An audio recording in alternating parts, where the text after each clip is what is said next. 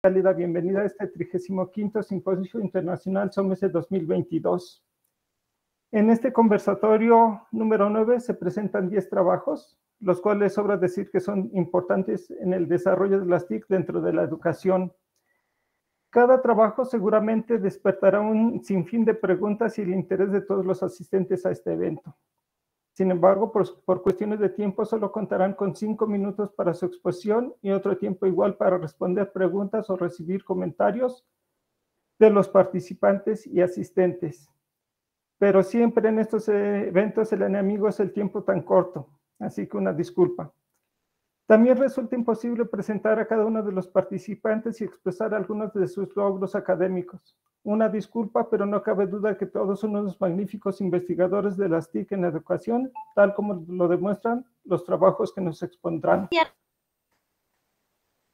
Sin más preámbulo, le cedemos la palabra a las autoras Iztaccíhuatl Suárez Varela y Anabel Gómez Vidal, quienes nos presentarán el trabajo titulado La, la educación híbrida currículum oculto y la universidad en la adquisición de habilidades blandas. Muchísimas gracias. Voy a comenzar a compartir mi pantalla. No sé si ya se vea. Sí, ya está cargando. Ahí ya se ve. No, todavía no. Ahí está. Perfecto. Sí. Ok. Bueno, nosotros eh, venimos del Centro Universitario UEM Valle de Teotihuacán. Igual voy a tratar de ser muy breve. Eh, nuestro trabajo en esta ocasión es la educación híbrida, currículo oculto y la universidad en la adquisición de habilidades, blandas. El contexto es que no solamente la universidad en la cual yo trabajo, que es la Universidad Autónoma del Estado de México, ha asumido el desafío de ofrecer educación global y la responsabilidad de brindar herramientas a los miembros de su comunidad universitaria. Ahorita actualmente pues está muy en boga lo que es el modelo híbrido, pero hay cosas que se han olvidado. En este caso pues algunas habilidades que ayudan no solamente a adquirir esta parte teórica en, en la que el alumno se está formando, sino que va más allá que es la parte de las habilidades blandas. Encontramos una, una, primer o un primer documento que nos maneja la revista digital para profesionales de la enseñanza, que nos menciona que el currículum oculto primeramente en las enseñanzas formales hace referencia a las lecciones, valores y perspectivas no escritas ni oficiales que a menudo tampoco son intencionadas en las que los alumnos aprenden en la escuela las universidades actúan para proporcionar a la economía una fuerza laboral provista de estas habilidades, personalidades y actitudes propias, lo cual viene siendo una función oculta que se vive en las instituciones, como esa parte que, de pronto dejamos de lado, que integra a cada uno de nuestros estudiantes. De aquí surge nuestra pregunta, que sería, ¿cuáles serían las dinámicas óptimas en la educación híbrida que fortalecen las habilidades blandas en el currículum oculto. O sea, no solamente lo que aprenden, ¿no? Sino cómo es que se van a, dirigir hacia esas personas en donde van a aplicar todo este conocimiento. Usamos eh, la investigación documental y cuáles son los resultados que obtuvimos. Eh, hicimos todo un, bueno, si gustan checar el trabajo, ahí hay muchas dinámicas que hablan propiamente sobre, sobre cómo fortalecer el liderazgo, el trabajo en equipo, la comunicación y la resolución de problemas que son la base de las habilidades blandas. Nos menciona que son útiles para demostrar o ayudar con la ejecución del trabajo a partir del conocimiento adquirido por ejemplo, en los discentes eh, de la licenciatura en psicología, que es en específico de donde nosotros o a la cual nosotros pertenecemos, se observa cómo adquieren el conocimiento teórico sobre un test. Asimismo, después de adquirir este, practican la aplicación del mismo donde se puede observar la ejecución de habilidades sociales, habilidades de comunicación, aptitudes y capacidad de acercamiento, mismas que se pueden observar al abordar al sujeto que se le aplicará el test en cuestión primeramente al realizar un encuadre para que después se realice una evaluación a partir del mismo. Todo esto porque a partir de que uno, bueno, con, el encierro, a partir de la pandemia, uno se coloca al otro lado de la pantalla y todos los alumnos están del otro lado y, se, pierde esa, esas habilidades sociales, ¿no? Que se venían trabajando a lo largo de, y entonces eh, se ha vuelto como, como una exigencia, como, como una manera de que, de que los alumnos han perdido esa por así decirlo, cordialidad hacia los demás. Nuestras conclusiones dice que actualmente la sociedad estimula una alta competitividad y los discentes no están exentos a ello, sobre todo al combinar una licenciatura, que es donde se supone han adquirido todas aquellas habilidades, hablando de la parte teórica, para destacar en el mundo laboral. El individualismo se supone debería ser destacado, ya que la vida académica en su mayoría se ha realizado por o por medio del trabajo en equipo, mismo que respeta un reto puesto que en la vida laboral se pone en juego algo más que una calificación final, que de pronto es como lo que les preocupa a los estudiantes, ¿no? Sacar 10, sacar 9, pasar la materia, sin ver todo lo que hay alrededor de, lo que van a ir a, practicar. La respuesta a la pregunta indica que existen diversas actividades para trabajar que ayudan y pueden fortalecer las habilidades blandas. El perfeccionamiento de estas durante la vida estudiantil hará la base del éxito en un ambiente laboral preparar a los futuros profesionistas para convivir, vivir y coadyuvar en los momentos de reto, no solo en la vida personal, sino también en la escolar y profesional, para poder tener un humano integral que beneficie en su contexto. Y de mi parte sería todo. Permítame un momento. Regreso para dejar de compartir. Listo. Muchísimas gracias. Perfecto agradecemos la exposición tan breve. abrimos la ronda de comentarios y o preguntas. Los compañeros que opinan de este trabajo, muy interesante por demás, ¿no? ¿Alguien quiere levantar la mano, participar? Digo, es un tema que realmente en el currículum normalmente no se incluye, ¿no? Y que está olvidado. O sea, estamos, como dice la compañera, preocupados en formar profesionales competentes para el trabajo, ¿no? Pero toda esta cuestión de liderazgo la vamos dejando de lado y al final sí resulta importante en cada uno de los trabajos tener una persona que guíe a un equipo, ¿no? Entonces el liderazgo, la comunicación son importantes, ¿no? Pues a mí me gustaría saber un poquito más, ahora sí que esto, ¿cómo lo estarían pensando en que se integre en el currículum? Digo, porque me pues queda, nosotros... Eh, me queda esto que es un estudio inicial, ¿no? Sí, apenas estamos en, esta parte de, pues, de, poder ver lo que, lo que hay, ¿no? Lo que se está aplicando. Realmente hemos visto que, se manifiesta mucho, pero en el currículum oculto, o sea, no, no hay una currícula así que lo diga, no tienes que, por ejemplo, pensaba ahorita que, que explicaba, los, los equipos por lo regular, ellos dicen, no, pues yo me junto con tal, pero nunca hacemos que, ellos se, se, junten con otros con los que de pronto dicen, es que no me cae bien, ¿no?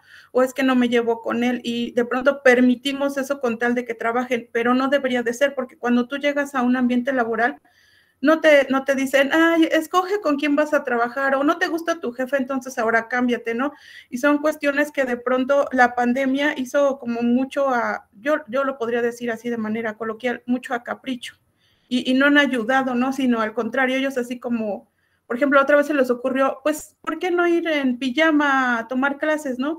Y yo digo, o sea, sí está bien, pero en un ambiente formal ya profesional, pues tienes que estar este, presentable, ¿no? Pero en, eso estamos, en eso estamos. Pues es algo muy interesante. Este,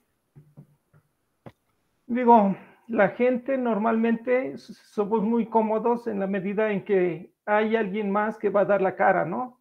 Eh, estamos dispuestos a trabajar, no nos negamos a trabajar, pero siempre intentamos evitar ser los que demos la cara, ¿no? Eh, en ese aspecto sí es importante que la educación vaya cambiando y que por medio de las tecnologías nosotros enfrentemos el problema y podamos dar soluciones este, para formar los líderes que serán en el futuro, ¿no? Este, ¿Alguien más quiere participar? ¿Tiene dudas? Perfecto. Te escuchamos, Ivonne. Hola, buenos días. levantadas.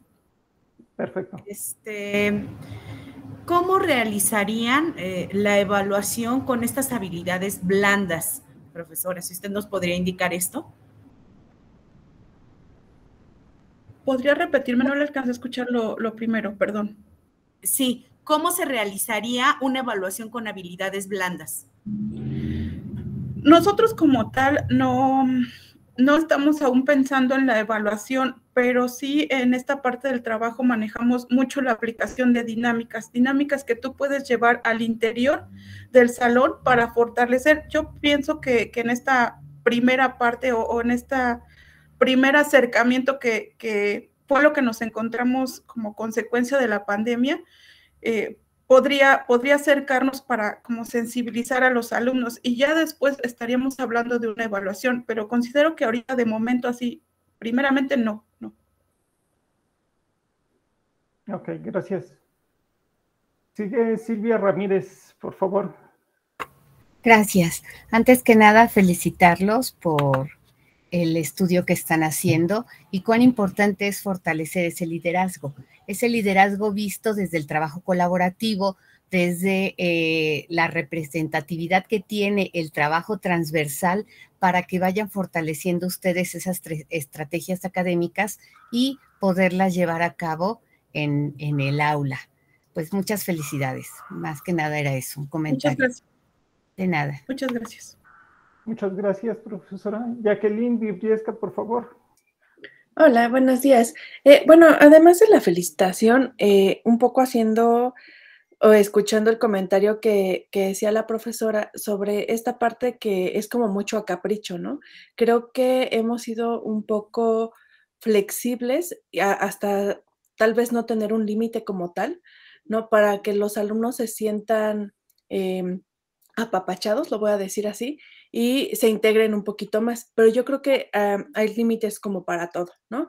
Esta parte que, comentaba de, eh, efectivamente, cuando uno entra a un trabajo, no nos dejan elegir, ¿no? O sea, sino que fácil sería, la verdad. Pero creo que este tipo de, de investigaciones y de trabajos nos ayudan mucho a analizar efectivamente si los alumnos están dispuestos o no o, es que a nosotros nos falta como que darles ese empujoncito, ¿no? Porque ahora yo, después de la pandemia, que era lo que, lo que platicaban, eh, me he dado cuenta que ante tanta flexibilidad, ahora que estamos eh, de nuevo eh, presencial, los alumnos no traen como que ese chip cambiado, ¿no? O todavía están en pandemia y quieren mucha flexibilidad. Ah, entonces yo creo que ahí tendríamos que, pues como que regresar a los límites y encauzarlos a y tratar de hacer eh, eh, esta parte que, sea como que conexión tanto con su lado eh, de trabajo y el que pues no es tan fácil como pues se los hicimos ver, la verdad. Nada más eso, muchas gracias. Sí, efectivamente, muchísimas gracias. Perfecto. Bueno, pues le agradecemos la exposición de este interesante trabajo que están realizando. lamentablemente siempre el tiempo es tan corto, y bueno, pues pasaremos a darle la palabra a nuestro segundo, este, a nuestra segunda ponencia, ¿no? Sí, voy a...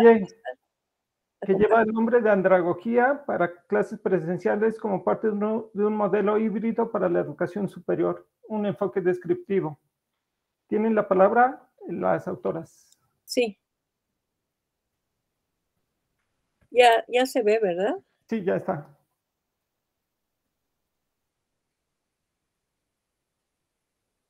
Ahí va. Bueno, eh, como lo mencionaban, eh, eh, nuestro tema es la andragogía. Es muy importante, es muy sencilla la propuesta, pero bueno, aquí va. Los autores somos Mendiola, Guevara, González y Cano. Somos de CIME Culhuacán, del Instituto Politécnico Nacional.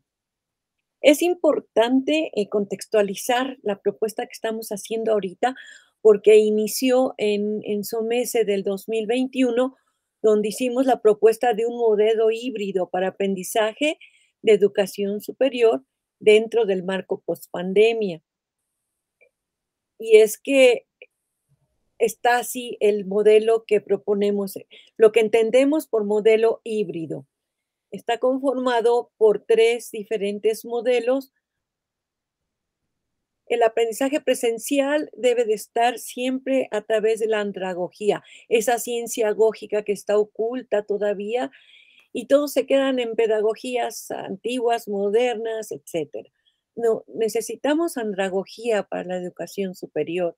Por otro lado, tenemos el aprendizaje rizomático y conectivista para todo lo que sea aprendizaje en línea. Y el no va aprendizaje avanzando la presentación, disculpe, no va avanzando la presentación, ¿eh? Perdón, Eh, no va avanzando la presentación. ¿no se ve cómo se mueve? No, está nada más la portada inicial. Ah, no puede ser. Yo ya, yo ya avancé. Sí, por eso lo detecté. A ver. Eh, continúo mientras Perfecto. sigo compartiendo. Eh, decíamos que eh, la andragogía es parte del modelo híbrido. Por un lado tenemos en nosotros, ¿ya se ve? Ya, ya está. Bueno, ahí eh, está el modelo andragógico, que es una de las partes de nuestro modelo híbrido. Del lado izquierdo está el modelo andragógico para clases presenciales, del otro lado está eh, el eutagógico para el autoaprendizaje y el tercero es el aprendizaje rizomático y conectivista. Y es bien urgente incluir la andragogía, porque la andragogía, bueno, eh, esto va dedicado a profesores de educación superior y posgrados para que puedan incluir este modelo híbrido. El principio de la andragogía, ¿cuál es? Es que es, hay horizontalidad, participación y flexibilidad. Estos eh, prácticamente es lo que utilizamos en nuestra práctica andragógica el día a día en la escuela, en las escuelas de enseñanza superior.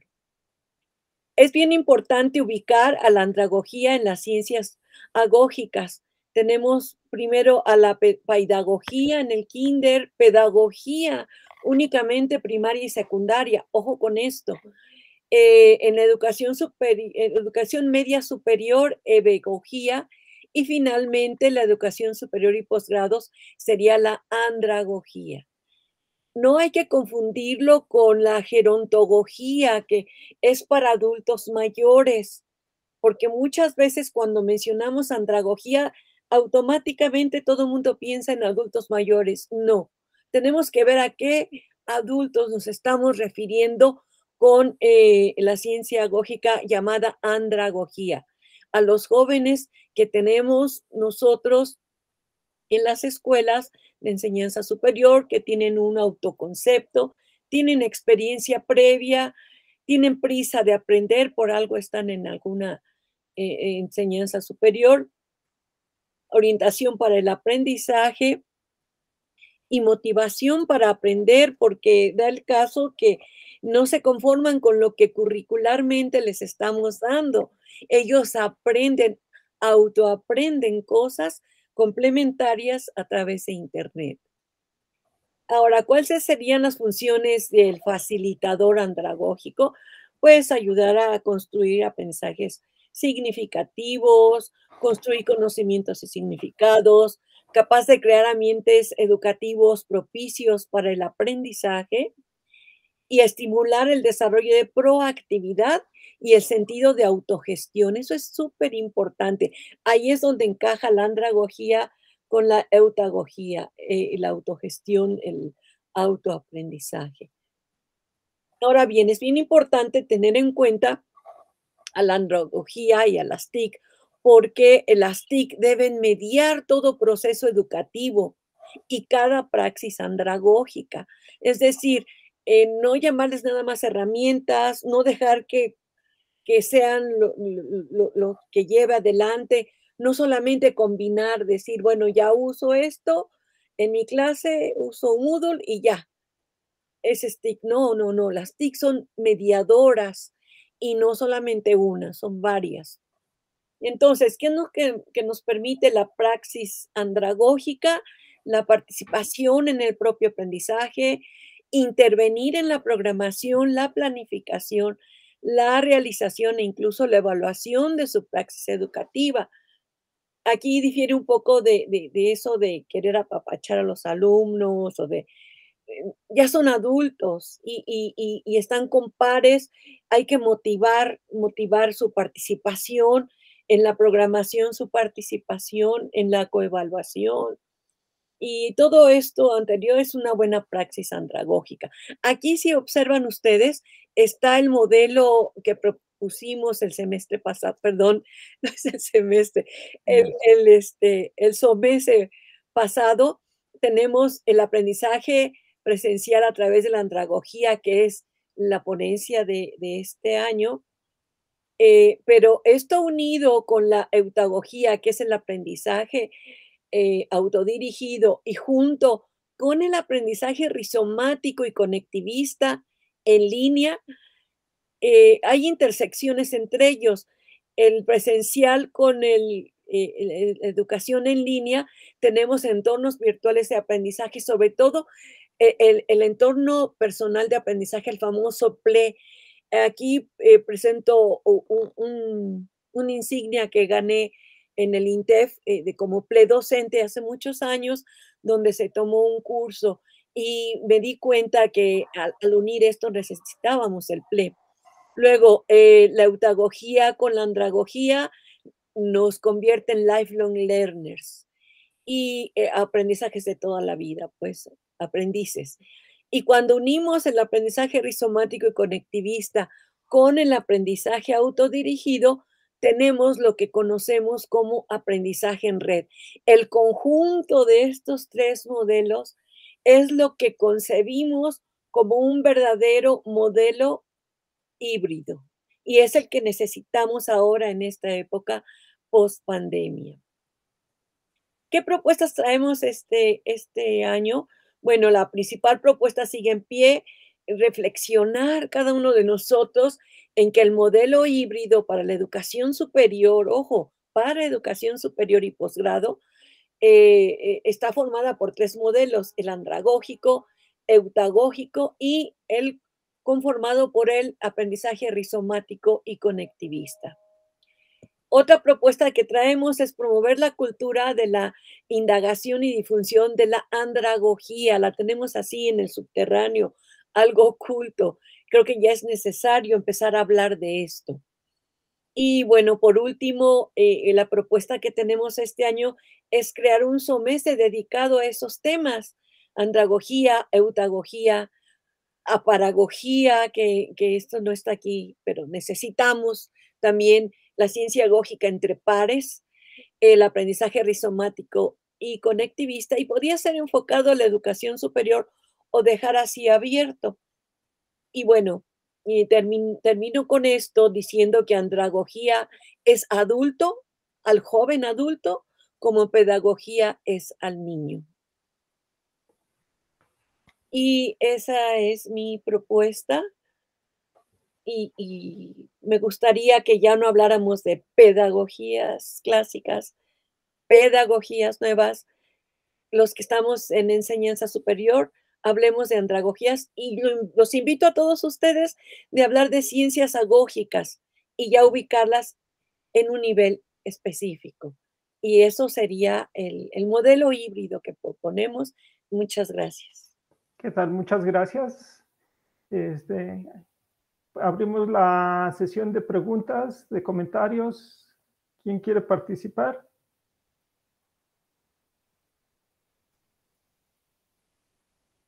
Bueno, pues participaré yo. Este, pues me parece muy interesante su presentación. Realmente eh, la mayor parte de la gente que hemos emprendido eh, el uso de las tecnologías en la educación, realmente lo hacemos de una manera entusiasta, ¿no? O sea que normalmente estamos formados desde el área de las TIC, de las tecnologías, y tenemos relativamente poca formación en las cuestiones pedagógicas, ¿no? O andragógicas ahora, ¿no? Entonces, pues hacemos nuestras propuestas entusiastas y sin tanta base, ¿no? Pero yo creo que con esta ponencia, pues sí debe despertarnos el interés y reflexionar que no nada más es un entusiasmo por usar las tecnologías como nos los propone la ponente, ¿no? O sea, sí tenemos que basarnos y tener alguien que nos asesore de cómo tenemos que ir estructurando todas nuestras propuestas para integrarlos en los cursos, ¿no? Le agradezco mucho. Está levantado una mano. Ah, sí. A ver, por favor. El profesor Jesús. Ah, muchas gracias. Eh, muchas gracias y, bueno, muchas felicidades por su ponencia. La aportación más que pregunta es que la andragogía nosotros de repente la vemos específicamente para el enfoque como si fueran alumnos, aunque sean adultos, ¿no? Pero recuerden que en la formación de docentes para la práctica, pues en la gran mayoría ahorita están siendo adultos y, ellos se tienen que capacitar también. Entonces la andragogía aplica para el mismo docente, no solamente para el alumno. Y, y ahí la separación que, ustedes, que usted hace mucho hincapié entre la pedagogía y la andragogía, ¿no? Eh, en la formación profesional, pues es más apegado a lo andrago, andragógico, andragógico, andragogía, porque ya me trabé. Pero sí creo que es muy importante eh, hacer un mucho enfoque en este, en este, en esto formas, en este modelo, o, así como está catalogado, ¿no? La importancia de, de, enfocar estudios en, en andragogía. Así es. Eh, de hecho, es la intención de, la propuesta que hacemos de empezar a abordar este tema de andragogía, pero a nivel de enseñanza superior. Porque yo he estado viendo todos los, conversatorios y las, eh, bueno, he seguido todo lo que es eso, y todo el mundo habla de, pedagogías eh, modernas, de pedagogías clásicas, y cuando uno es eh, profesor de enseñanza superior o de posgrado, uno dice, ¿cómo? ¿Esto cómo encaja aquí con nosotros? ¿Esto cómo encaja con lo que estamos llevando? ¿Cómo, cómo decimos nuestras experiencias, lo que hemos hecho? Por ejemplo, así rapidísimo, nosotros eh, teníamos mediada toda esta, esta cosa de la andragogía eh, en nuestras materias. Tenemos un grupo de Facebook, un Google Classroom, tenemos nuestros videos de clase en YouTube eh, y este, tenemos un blog y un website. Y eso fue desde el, desde el 2015, empezamos así. Y nos veíamos en clase en la hora asignada por el programa. Cuando llega la pandemia, lo único que cambió fue no vernos presencialmente, pero continuamos, no se detuvo, no, no hubo nada se continuó, eh, había mucha fluidez y esta es la propuesta de, precisamente de, este modelo híbrido que ya se llevó a la práctica, que esa es la segunda etapa de la investigación. Esta es una experiencia así como documental. La segunda es ya la experiencia concreta de qué fue lo que pasó y cómo pasamos adelante la pandemia con una fluidez con los alumnos, pero maravilloso, ¿no? Y ahorita que ya regresamos, a, clase, que ya los veo ahí en el salón. Seguimos con el, el, grupo de Facebook, seguimos con el Google Classroom, seguimos con YouTube, seguimos con la web, el website, con el blog. Eso no cambia. El modelo híbrido ahí va caminando. Esperamos documentarlo para el próximo año. Y los invito en serio a reflexionar un poco sobre esto. Y bueno, ya, por mi parte es todo. Muchas, muchas gracias. Muchas, muchas gracias también por su ponencia, muy interesante. Seguiremos la continuidad seguramente en el SOMES 2023. Así es. Bueno, por cuestiones de tiempo, bueno, pasemos a la siguiente ponencia, que es la tercera. Eh, lleva un título de innovación educativa a través del uso estratégico de las tecnologías de la información antes, durante y post pandemia de la contingencia sanitaria generada por el virus SARS-CoV-2 COVID-19. Cedemos la palabra, por favor. Gracias. Ya estoy tratando de compartir. ¿eh? Perfecto. Pues bueno, mientras voy comentando, eh, somos tres, tres compañeras en el equipo colaborador, Miroslava Naides Pejel Hernández, Ivonne Georgina Galicia Romero y su servidora Silvia Ramírez Parada. al parecer está un poquito lenta la, la señal de Meet. Pero bueno, mientras voy a ir mencionando para no perder el tiempo y eh, cabe mencionar que las palabras clave que tomamos a consideración son tecnologías de la innovación, de la información y comunicación, así como tecnologías del aprendizaje y del conocimiento, aunado a la innovación educativa. Nuestro contexto a grandes rasgos son directivos desde preescolar, primaria y secundaria, fue la población trabajada y la metodología que tomamos A ver, ustedes me dicen si ya se ve. El PowerPoint ya está. Ok. Entonces, avanzo.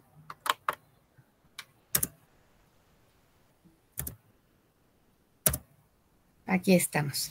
La metodología es etnográfica, cualitativa, y lo hicimos ¿por porque lo vemos desde la manera holística. Los datos de esta investigación nos van a vertir, bueno, corresponden a procesos educativos con dichos directivos y se ven desde un fenómeno global. ¿Cuál va a ser nuestra utilidad? Van a servir para la evaluación. ¿A partir de qué? De esta investigación teórica basada en los hechos educativos. Los resultados. Los resultados eh, se realizaron cuestionarios al grupo de docentes que les acabo de mencionar, donde nos damos cuenta que el mayor peso de nuestros directivos fueron de educación primaria, los de secundaria fue un 27% y los de menor fueron los de educación secundaria.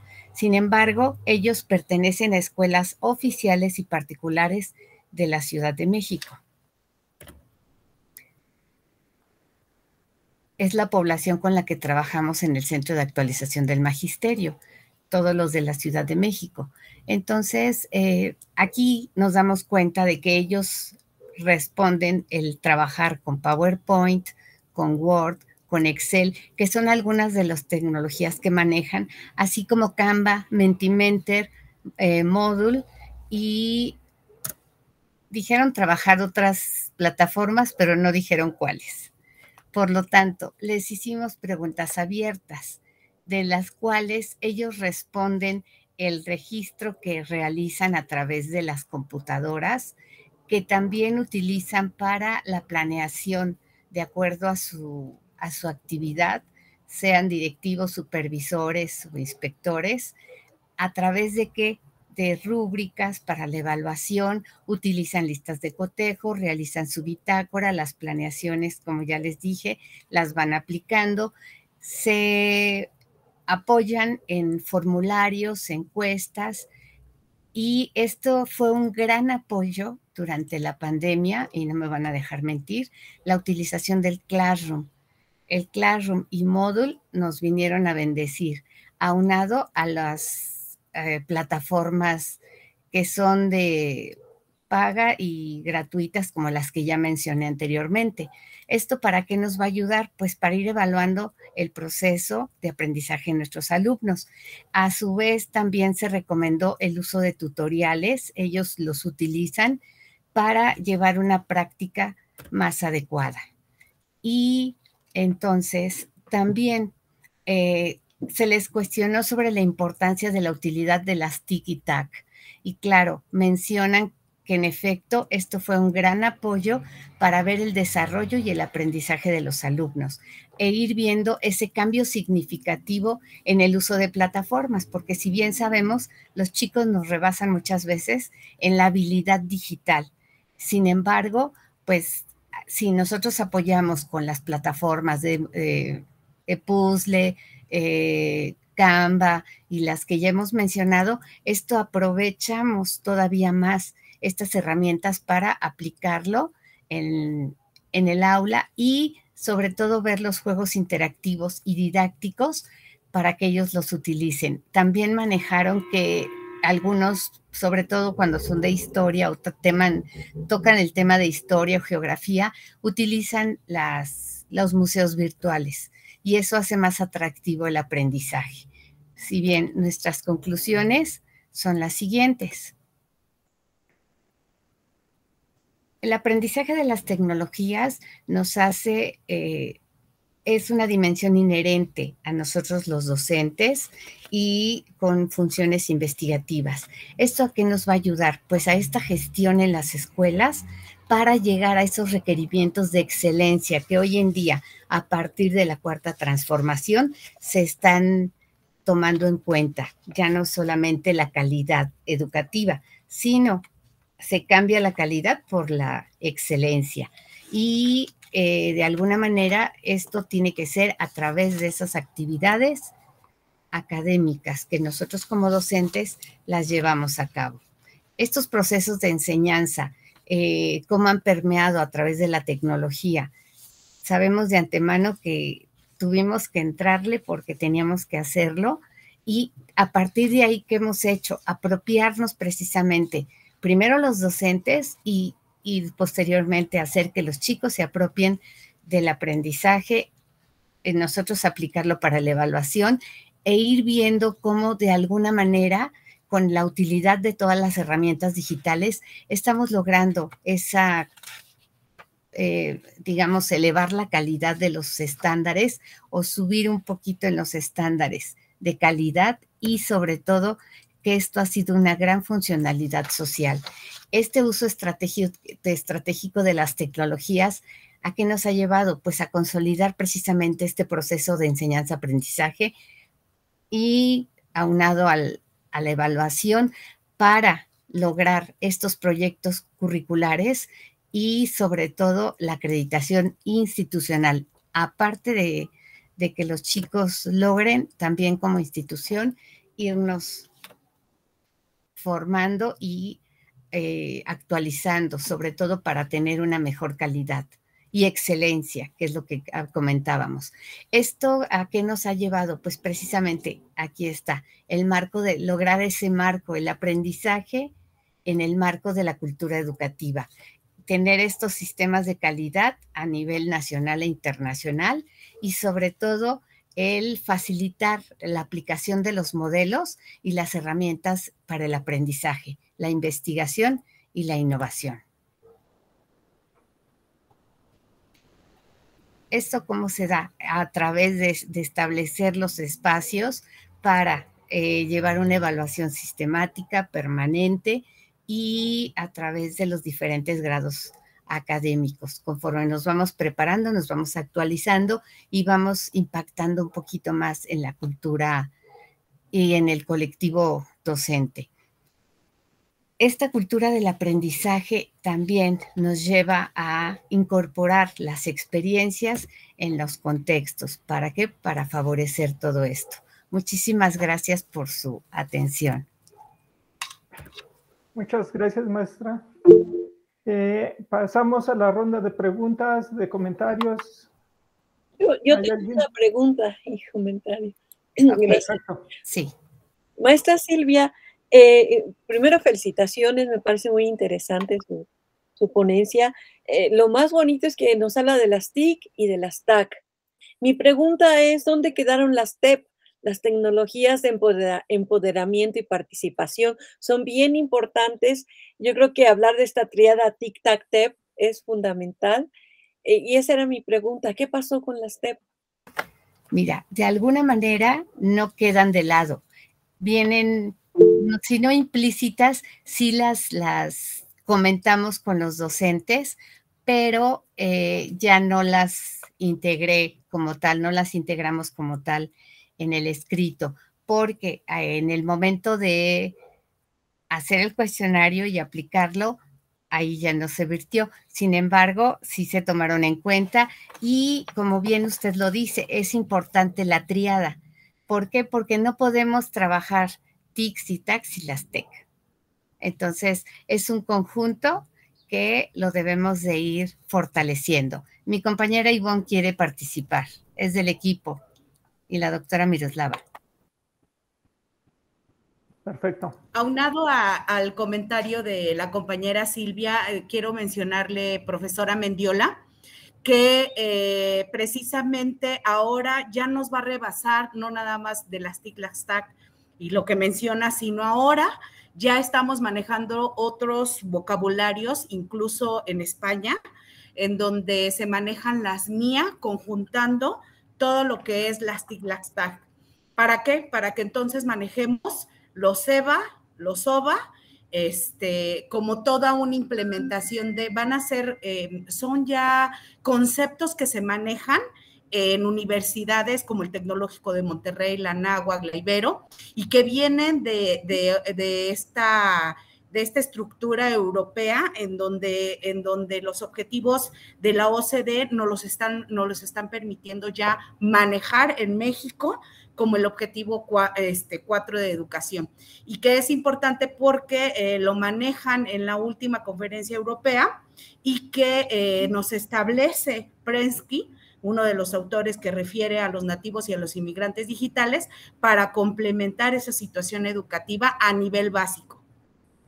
Muchas gracias. E, entonces, esto que me menciona usted no está contemplado en la ponencia ahorita. También tendríamos que, pensar en, el metaverso, por ejemplo. Sí, por supuesto. Totalmente rebasa eh, lo que es TikTok y TEP. Entonces, Exactamente. tecnologías del aprendizaje, pero la pregunta iba, iba encaminada a la ponencia como tal.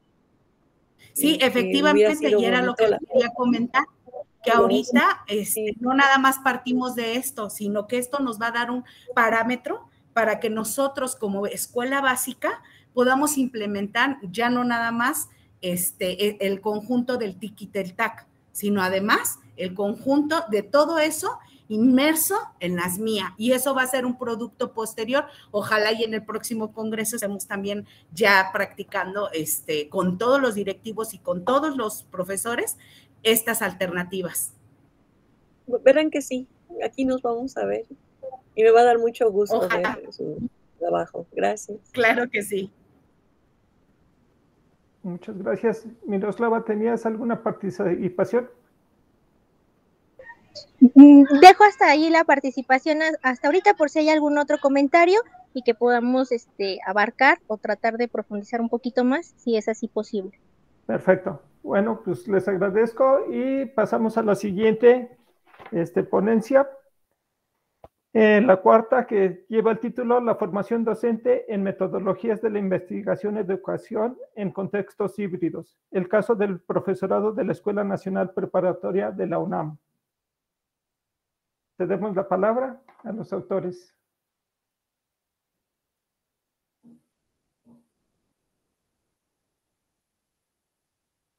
No Tiene su micrófono cerrado. está apagado. ¿eh?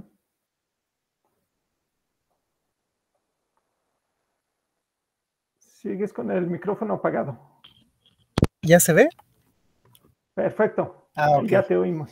Muy bien, pues muchas gracias eh, a todas y a todos. Eh, pues en esta mañana voy a compartir esta ponencia sobre la formación docente eh, en metodología de la investigación a cargo de un servidor, Antonio Figueroa Gutiérrez y de Alan Javier Pérez Vázquez.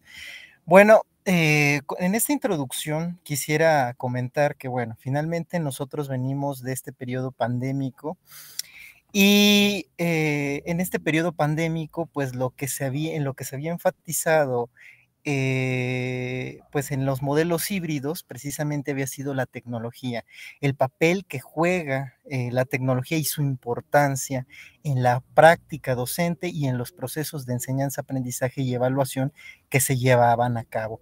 Sin embargo, pues eh, en este periodo pospandémico y en este periodo de la denominada nueva normalidad como espacios comunes, Quizá es conveniente decir que, bueno, estamos transitando a el perfeccionamiento ahora sí de las nuevas metodologías a través de las cuales nosotros debemos de eh, generar pues la enseñanza en educación híbrida. Y en ese sentido, pues va el trabajo, que es una experiencia que se lleva a partir de lo trabajado en la formación docente de, eh, en la Escuela Nacional Preparatoria. Y entonces el objetivo, pues, eh, implica que se logre observar cómo a través de la formación virtual sincrónico-asincrónica, pues se, puede dar, se pueden dar los mismos procesos de enseñanza-aprendizaje que en la educación, en la educación eh, presencial y en, su variante eh, asincrónica y sincrónica virtual. Entonces, nosotros estaríamos viendo que, bueno, una metodología en la cual se eh, habla de la educación mediada por tecnología a través de un modelo de aprendizaje híbrido que enfatiza el modelo virtual sincrónico asincrónico en los procesos de enseñanza, dando con ello habilidades y conocimientos nuevos al profesorado de la Escuela Nacional Preparatoria. Recordando también, pues, las variantes del modelo de aprendizaje híbrido que pues podemos ver en este pequeño diagrama que son cuatro, así como lo indican varios autores eh, nacionales e internacionales y eh, enfatizando que pues puede ser presencial en el aula física o puede ser completamente en el aula virtual ocupando recursos online o, o haciéndolo offline. Entonces, pues bueno, Tomando ello como base, nosotros tendríamos que ver, bueno, cómo impacta la capacitación docente el uso de la modalidad híbrida. Pues bien, nosotros tenemos que, bueno, en el caso de los programas de, eh, en el caso de los cursos de capacitación, nosotros tendríamos los programas, el contenido, el uso de las TIC y por supuesto cómo este uso eh, genera la eh, enseñanza del modelo de aprendizaje híbrido a través de Zoom y Moodle, pero haciendo el énfasis, como se decía, en esta metodología. La capacitación docente en el modelo híbrido, pues obviamente implica el uso de las TIC, la práctica docente, la educación mediada y la aplicación de la metodología en la metodología de la investigación. Entonces, pues, eh, en ese sentido, pues en este trabajo se puede ver que resulta eh, importante el uso del modelo virtual eh, sincrónico asincrónico para la enseñanza de la metodología de la investigación en los docentes, pues bueno, finalmente a través de la aplicación de los cursos de metodología se pudo dar cuenta de que ayuda a pensar de forma crítica, pues aquellas problemáticas que nosotros observamos en, nuestros espacios educativos, nos ayuda a generar soluciones, contextos y eh, investigaciones educativas y no olvidando pues finalmente que nos, eh, es de gran valía la, la educación pues eh, híbrida en este modelo en el cual se trabaja 70% de forma sincrónica y el 30% de forma eh, eh, de forma sincrónica, donde se logra ver que se conjuntan las TIC-TAC como una forma de eh, apoyo de lo, para la generación de recursos interactivos y de recursos disponibles, lo que hace que se fomenten los procesos de enseñanza-aprendizaje y evaluación en estos espacios. Se generó una planeación y esta planeación, estas planeaciones pues fueron sincrónicas, sincrónicas y en todo momento estuvieron estimulando, pues por un lado, en las clases sincrónicas, la resolución de las diversas dudas que se tenían y las orientaciones particulares para el profesorado y por otro lado, en el trabajo que fue asincrónico, se estuvo dando énfasis al trabajo autorregulado e independiente del profesorado, de tal manera que se pudiera estar dando esta regulación constante de su actividad, de su actividad pues como eh, en este caso estudiantes en los cursos de capacitación. Se conjuntaron dos... Eh, dos, eh, dos, productos, uno de ellos fue una presentación y otro fue el protocolo de investigación.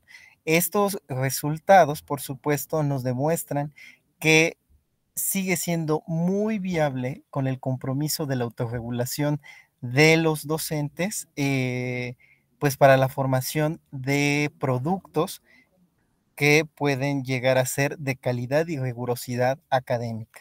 En ese sentido, la modalidad, eh, si bien nosotros podemos entender que puede haber modalidades presenciales eh, que se combinan con la modalidad eh, virtual, pues en este caso nosotros enfatizamos que la modalidad virtual sincrónica y asincrónica es muy importante para el desarrollo de habilidades y competencias en el profesorado y en los cursos que, de capacitación docente que se dan dentro del eh, contexto de la Escuela Nacional Preparatoria.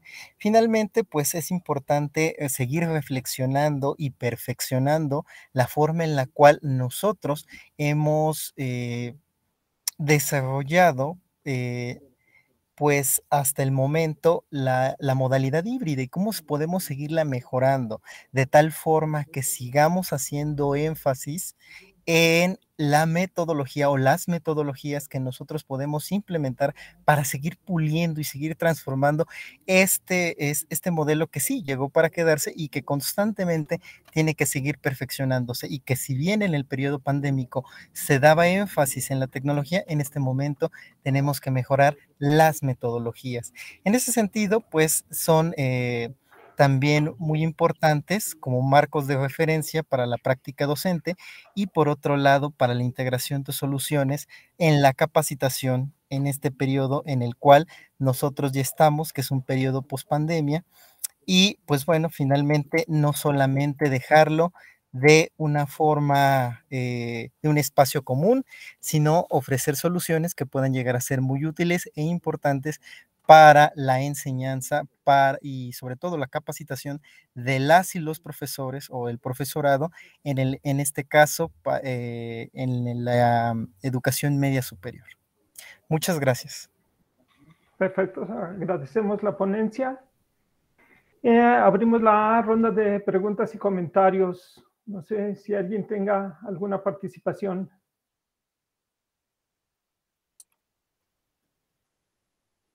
Eh, ¿Puedo? Perfecto, adelante. Perdón, ando muy metiche ahora. Eh, me encantó tu ponencia, compañero, muy bonita, eh, muy completa, por cierto. Y ya que tocas e, esta cuestión de, del modelo híbrido, pues invitarte, la intención de la ponencia que presenté del modelo híbrido, a que incorporaras la parte eutagógica en tu esquema eh, esto es el autoaprendizaje de los alumnos. Por ejemplo, un ejemplo así bien concreto, eh, aterrizado, sería que los alumnos de metodología de la investigación de la preparatoria pudieran entrar a la plataforma Overleaf para poder crear sus protocolos en LaTeX y quedan excelentes. Y ellos solos pueden ir aprendiendo, no necesita estar dentro del programa, dentro de la currícula. Esta es la parte eutagógica.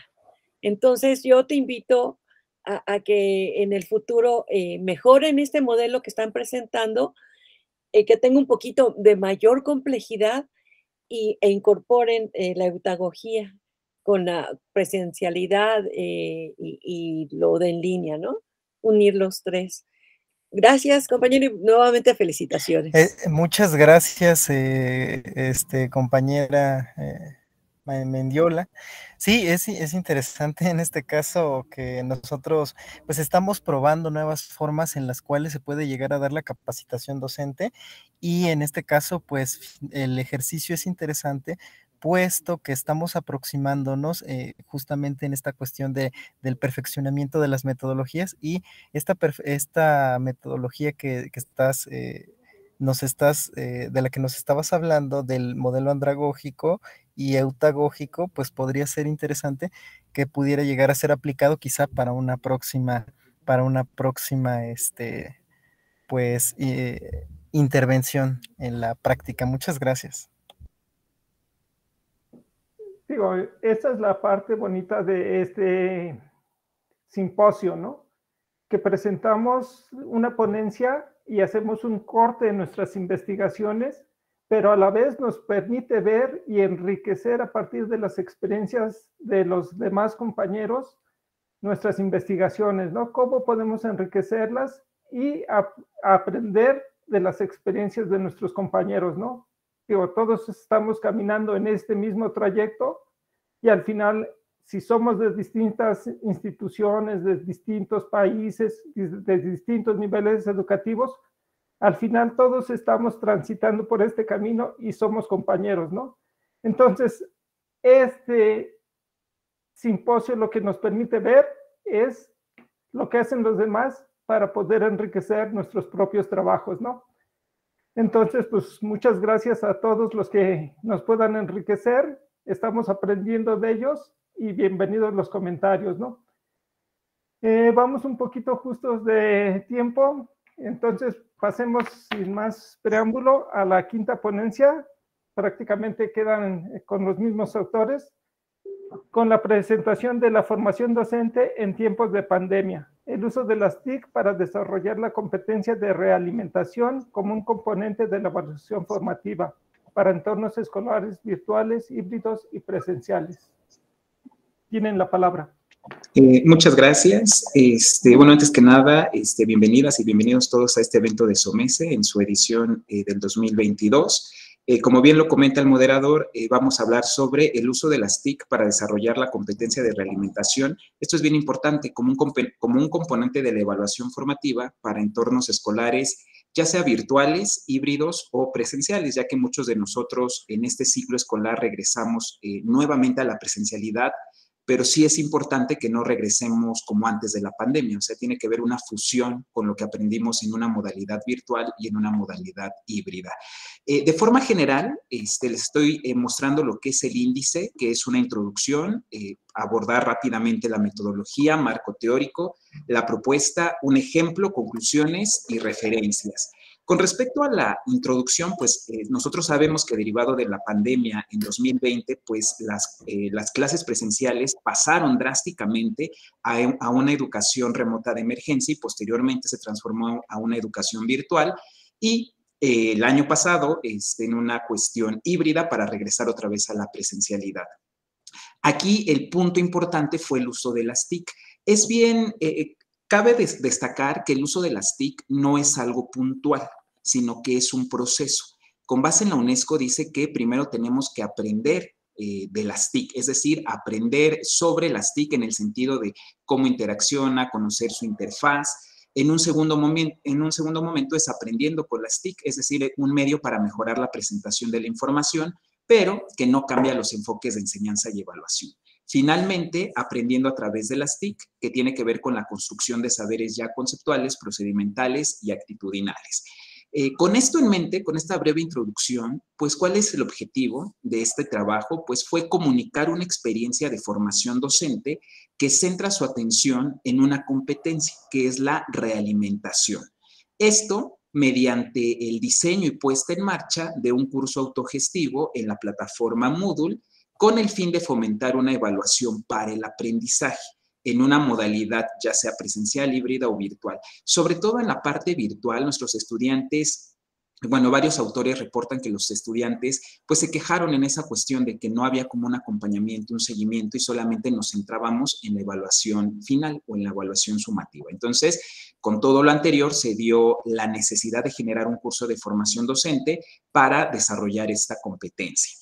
Eh, la metodología aquí lo pueden ver eh, muy práctico. Primero se hizo una investigación bibliohemerográfica, después eh, se, se, buscó artículos que hablaran sobre qué es una competencia, evaluación, realimentación. Y para esto de la competencia, ¿cómo se evalúa? Mediante dos modelos, que es el modelo de la pirámide de Miller y el modelo de Cambridge. Posteriormente, se generó el diseño del curso en la plataforma Moodle se dio la implementación de forma autogestiva, se obtuvieron productos y en este ciclo escolar, aunque ya acabó el curso, estamos en una fase post-curso para visualizar el desempeño. Ahorita vamos a ver que una cosa es la competencia que se desarrolla en entornos simulados y el desempeño que ya es en entornos reales. Eh, pues de forma general, ¿qué es una competencia? Bueno, hay diversas definiciones con base en el marco conceptual para la evaluación de las competencias, pues es el contenido que va más allá del conocimiento, es decir, también va más allá del saber hacer y que se centra en el estudiante. Para hacer su evaluación, tengo que considerar este, las habilidades cognitivas, psicomotrices y actitudes y valores. ¿Qué nos ayuda a poder dar este tipo de evaluación? Pues como lo pueden ver, tenemos la pirámide de Miller, que es un primer escalón que es saber, después saber explicar, saber mostrar y finalmente actuar. El, actual, el actuar ya es un desempeño real prácticamente y todo lo anterior a actuar pues tiene que ver con entornos simulados. Entonces, dependiendo del momento en el que esté, yo puedo hacer... Eh, con base en un instrumento de evaluación, eh, obtener inferencias de qué tanto han aprendido las y los estudiantes. El otro eh, modelo es el modelo de Cambridge. La pirámide de Miller es como muy cuadrada en ese sentido y el modelo de Cambridge lo que dice es que la competencia sí es importante, pero debo de tomar en cuenta la infraestructura del centro de trabajo y también las eh, habilidades cognitivas, psicomotrices, actitudes y el estado emocional de cada uno de nosotros como docentes. Entonces, sí es importante la competencia. Para que podamos pasar al desempeño, que es un entorno real, tengo que considerar tanto las cuestiones del trabajo como las, eh, la influencia relacionada con el individuo.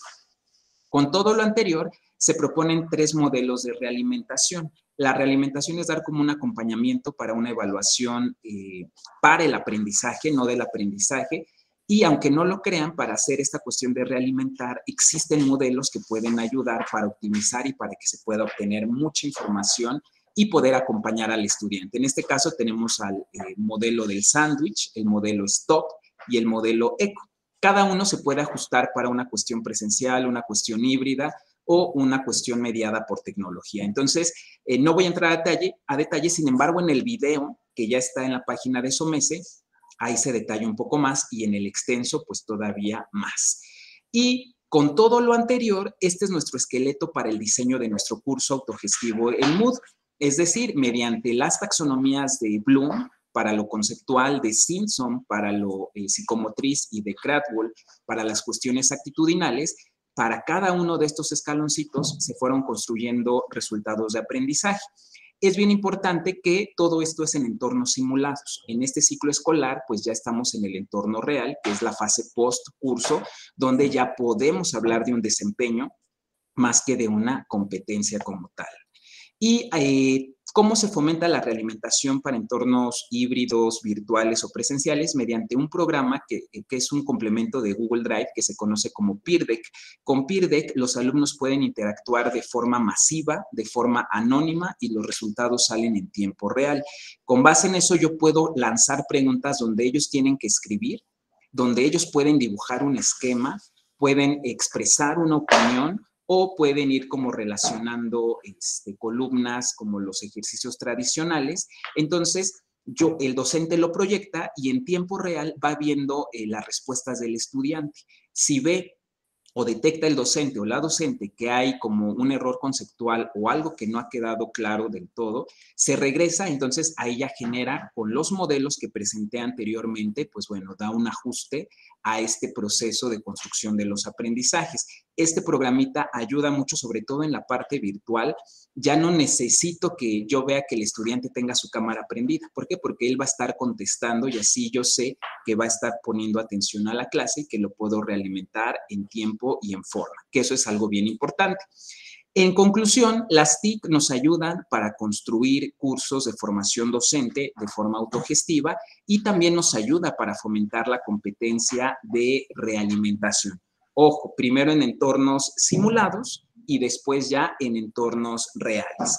La conclusión es que la transición a la docencia, eh, de la docencia presencial a la virtual y luego otra vez a la presencial, no es algo puntual, sino es un proceso. Es un proceso donde nosotros como docentes y estudiantes necesitamos... Eh, adaptarnos, reaprender algunas cosas o aprender algunas otras cuestiones. Por esto, la importancia de este curso, ya que mediante la pirámide de Miller y el modelo de Cambridge se llevó la construcción de un curso autogestivo para fomentar en el profesorado, eh, eh, digamos, esta mm, habilidad o competencia llamada realimentación.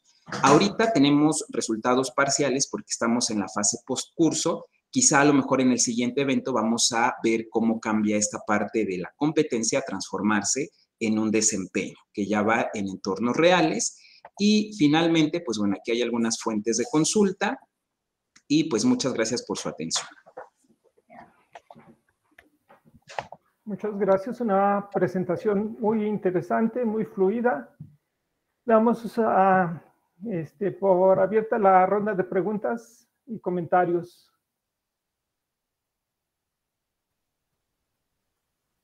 ¿Nadie quiere participar?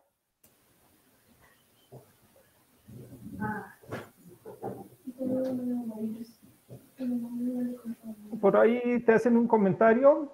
Este, está así, what, ¿dónde se quedó? Aquí estaba el comentario.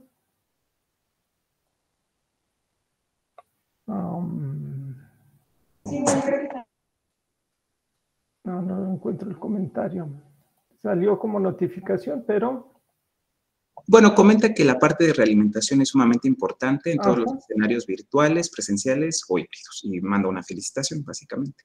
Exacto. Digo, a mí sí me resulta este, con algunas cuestiones de interés. Este, ¿Qué tanta población participó en este esfuerzo que ustedes hicieron? ¿Cómo fue eh, la inscripción de los profesores, de los docentes? ¿Fue voluntaria o se seleccionó por algún plantel en específico? cómo fue toda esta cuestión?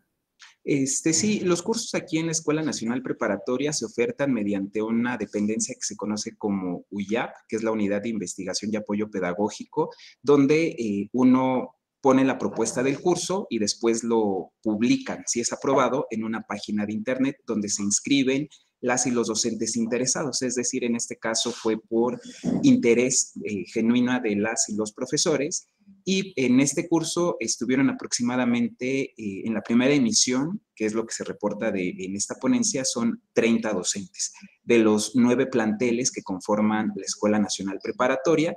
Eh, cabe destacar y resaltar que estos 30 docentes que se inscribieron terminaron todo el curso que tenía una duración de 40 horas, primero porque fue autogestivo y porque los iba llevando de la mano mediante esta pirámide de Miller para poder llegar a la competencia. Ahorita lo que se está haciendo es con alguno de ellos ir monitoreando este, este, este, aprendizaje para ver el desempeño que ya es un, eh, en, un entorno real. Entonces, eh, pues eh, con esto en mente, se quiere decir que la población original de esta primera emisión fueron aproximadamente este, 30 docentes.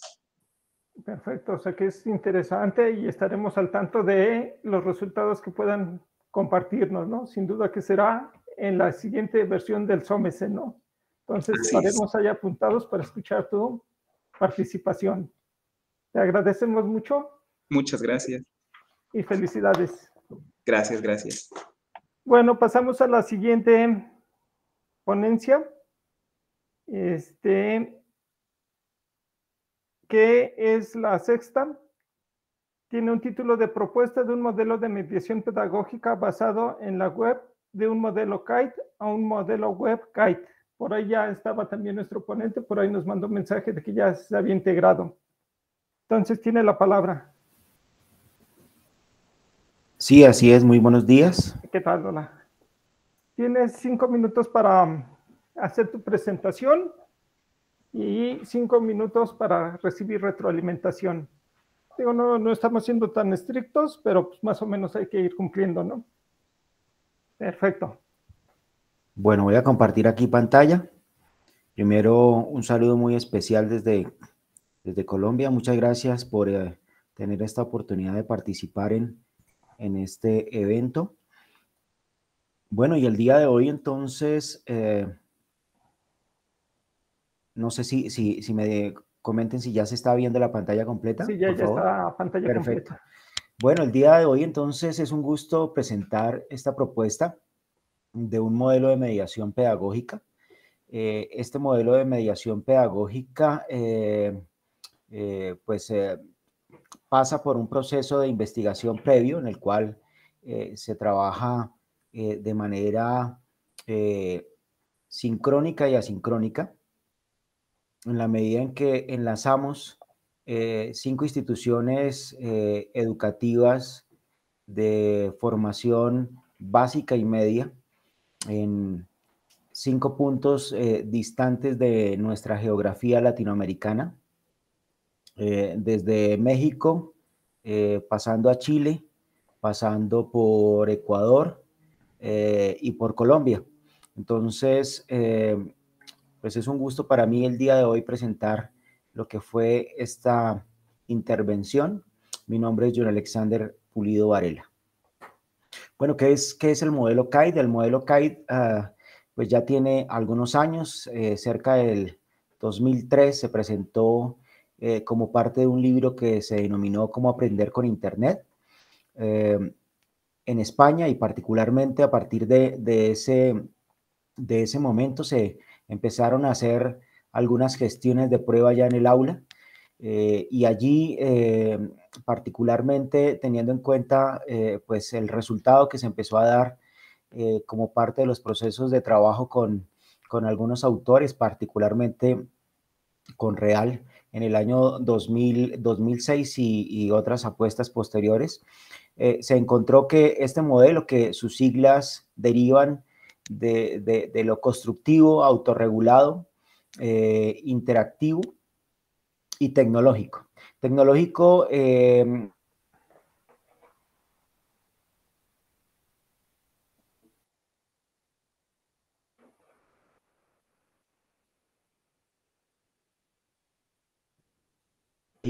básicamente eran los espacios de aula, eh, en los espacios eh, de trabajo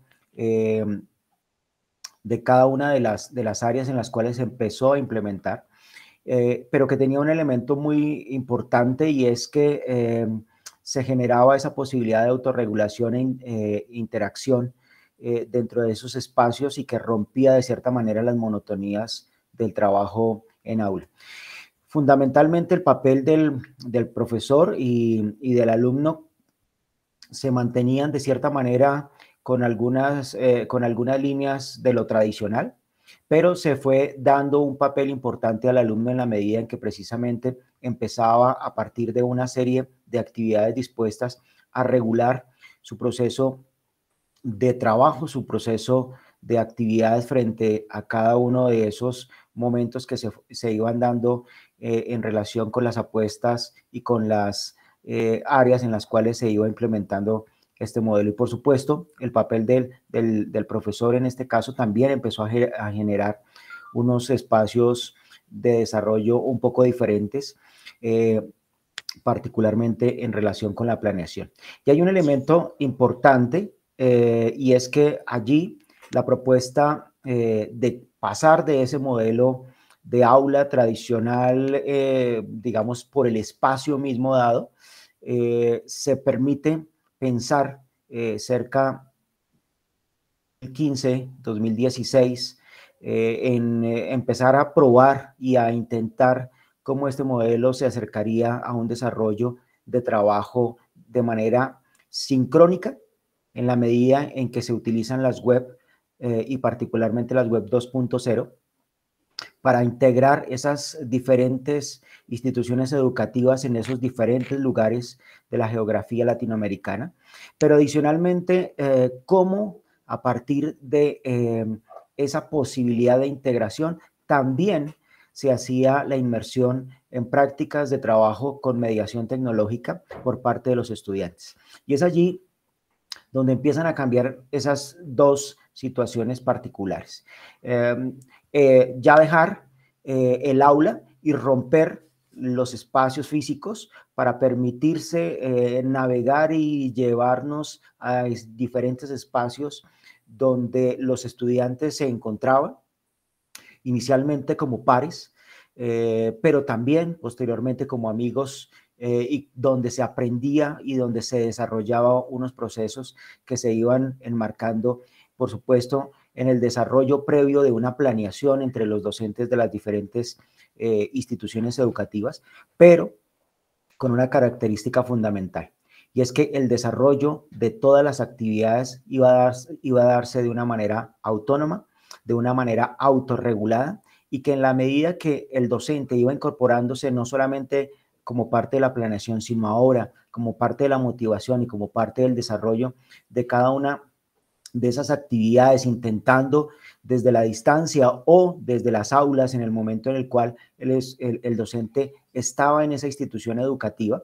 pues permitía un trabajo en doble sentido. El docente colaboraba eh, eh, con sus estudiantes en ese espacio físico, que también permitía un encuentro sincrónico, y a la vez el docente también tenía eh, esa posibilidad de apoyo de manera mancomunada, de manera que se integraba con el, con el trabajo del docente que estaba al otro lado de, la pantalla, al otro lado de ese espacio, eh, de ese espacio virtual y donde seguramente en algún momento el maestro de México y el maestro de Chile o el maestro de Colombia y el maestro del Ecuador se integraban a aportarle al proceso educativo de los estudiantes. Entonces, de esta manera encontramos que las web 2.0 se articula de manera tanto vertical como horizontal dentro del proceso y genera esa posibilidad de interacción eh, y de mediación, pero además de eh, la posibilidad de permitir generar evidencia en la realización de las actividades y los procesos que estaban dispuestos para ello. Eh, por lo tanto, entonces aquí tenemos para ir eh, observando ya de manera detallada lo que básicamente es el contraste entre esos dos elementos, lo que es los parámetros de contextualización, objetivos, instrumentos tecnológicos que de alguna manera, eh, como lo comentaba de manera previa, eh, eran a partir de esa propuesta del año 2003, pues eran dentro de los espacios de aula y regularmente eran para búsqueda de información eh, posteriormente el desarrollo de unas actividades, perdón que se pasó acá, el desarrollo de unas actividades y finalmente el proceso de evaluación. En ese sentido, eh, los cambios tienen que ver precisamente con cómo se integra eh, estos elementos de la web 2.0 de manera vertical durante todo un proceso, incluso de manera previa al acercamiento entre, entre los estudiantes y que debe haber un trabajo fuerte allí de acercamiento de colegaje entre los maestros y entre las personas que estaban trabajando en el proceso de eh, preparación para todo, para, todo lo que, para todo lo que se venía. Y finalmente, el elemento también central de trabajo en, en, en las TIC, no solamente como instrumentos de mediación para la, para la conversación entre pares y, los procesos eh, académicos, sino también la posibilidad de aprender de esos lugares, de esos entornos, de, esas culturas y de, esos, eh, de, esos, eh, de esas escuelas que, que se iban presentando de una manera casi que informal como parte también de esas amistades y de, esas, de esos intereses que se iban dando en la medida en que eh, los estudiantes se iban relacionando. Eh, de esta manera, eh, las conclusiones pues son, son variadas, pero básicamente podemos encontrar que el desarrollo pedagógico a través de, de estas posibilidades que de alguna manera se tenían previstas para eh, momentos presenciales, permiten también de alguna forma y con modificaciones, por supuesto, llevarse a ambientes virtuales o híbridos. Que eh, definitivamente el potencial de las, eh, de las web no solamente está en la medida de la interacción como parte de una comunicación que permite el trabajo académico, sino también el poder romper comunicación, perdón, romper esos espacios para una comunicación y una interacción que seguramente eh, para muchos de, las personas que participaron físicamente en algún momento no se vayan a dar por eh, esa posibilidad o esa imposibilidad tal vez más bien de viajar a cada uno de, esas, de esos lugares, pero sí lo conocieron y sí lo pudieron compartir de manera de manera digital. Y finalmente, como un, cierre de estas conclusiones, podríamos encontrar que la, regulación o la autorregulación en el trabajo de mediación, con mediación de, las web, en, esto que se conoce como el modelo CAE, pues genera unas expectativas muy interesantes en relación con las posibilidades que se pueden dar de siguientes estudios y abarcar otras posibilidades de siguientes niveles de formación, de interacciones en otras, en otras áreas y, ¿por qué no?, en la construcción de currículos eh, paralelos entre instituciones educativas que se encuentran eh, distantes por eh, miles de kilómetros y el aporte que cada una de esas culturas y cada una de esas multidimensiones que permite también la interacción en la web permiten o dan la posibilidad de generar. De esta manera, entonces, quiero cerrar mi participación agradeciendo la posibilidad de esta. Muchas gracias. Si hay preguntas, con el mayor de los gustos. Perfecto. Agradecemos la ponencia. Un modelo por demás interesantísimo. Y bueno, pues abrimos la ronda de preguntas para los compañeros.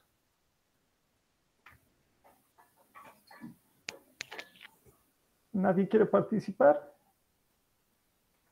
Bueno, pues a mí sí me despierta interés hablas de que hay cinco países distintos participando con este modelo, ¿no? ¿En qué nivel de educación se está realizando este modelo de educación a nivel licenciatura, posgrado, educación básica. ¿Cómo se dio la relación para que pudieran empezar a colaborar los distintos países, no? Si nos comentas un poquito de eso. Claro que sí, muchas gracias. Pues esta, esta eh, digamos, eh, esta apuesta se dio a partir del interés precisamente de un evento que se dio en, en, el marco de la posibilidad de, de, hablar, de discutir y, y, de comentar entre maestros eh, situaciones que nos llamaban la atención como parte de los procesos que se estaban dando con las web. Y entonces, de manera eh, casi que espontánea, se permitió eh, a dialogar y empezar a enlazar esos intereses y esas posibilidades para que pudiésemos ir construyendo a lo largo de un tiempo eh, lo que sería esta, esta apuesta. los maestros somos de educación básica y media, eh, son cinco instituciones en cuatro países, eh, dos instituciones eh, acá en Colombia, una institución que se dio en, el, en México, particularmente en Ciudad de México, una en, en, Chile y una en Ecuador. Entonces, allí ubicamos los niveles de formación, tal vez por edades que más se acercaran y que los docentes tenían a, la mano en, ese momento para el desarrollo de su trabajo y que pudiesen tener como eh, alguna posibilidad de interacción frente a pares que tuviesen edades y que tuviesen condiciones pues eh, eh, semejantes o por lo menos muy cercanas. Entonces, esas son como las, las condiciones que, que, tal vez escuché dentro de las preguntas. No sé si me quedé corto. No, perfecto. También por ahí tenemos levantado la mano, ¿no? Jacqueline Vibriesca tiene el micrófono. Gracias. Pues muchas felicidades, John. La verdad es que, eh, bueno, al tener este cuatro eh, países en, este trabajo, pues evidentemente te da una amplitud de, de, saber cómo están presentando las cosas. Yo, mi pregunta va, y más en curiosidad, es las diferencias que ustedes vieron, evidentemente, entre México, Chile, Ecuador y Colombia en los estudiantes porque evidentemente, pues sí, este, cada país tiene sus bemoles y pues este tipo de, estudios pues te hace pues conocer eso, Entonces, ¿cuáles han sido las diferencias que ustedes se percataron entre estos, entre los alumnos de estos cuatro países?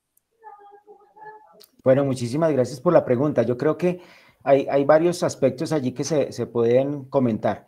El primero, más allá de las diferencias, son las similitudes. Entonces, creo que eh, la, primera de ellas que tiene que ver con los maestros, pero también con, los estudiantes, eh, es el interés que se dio, incluso más allá de los aspectos formales académicos que se querían abordar, por conocer, por eh, generar un espacio de interacción en el cual intentamos incluso dentro del mismo proceso académico articular elementos que tuviesen que ver con el aspecto cultural.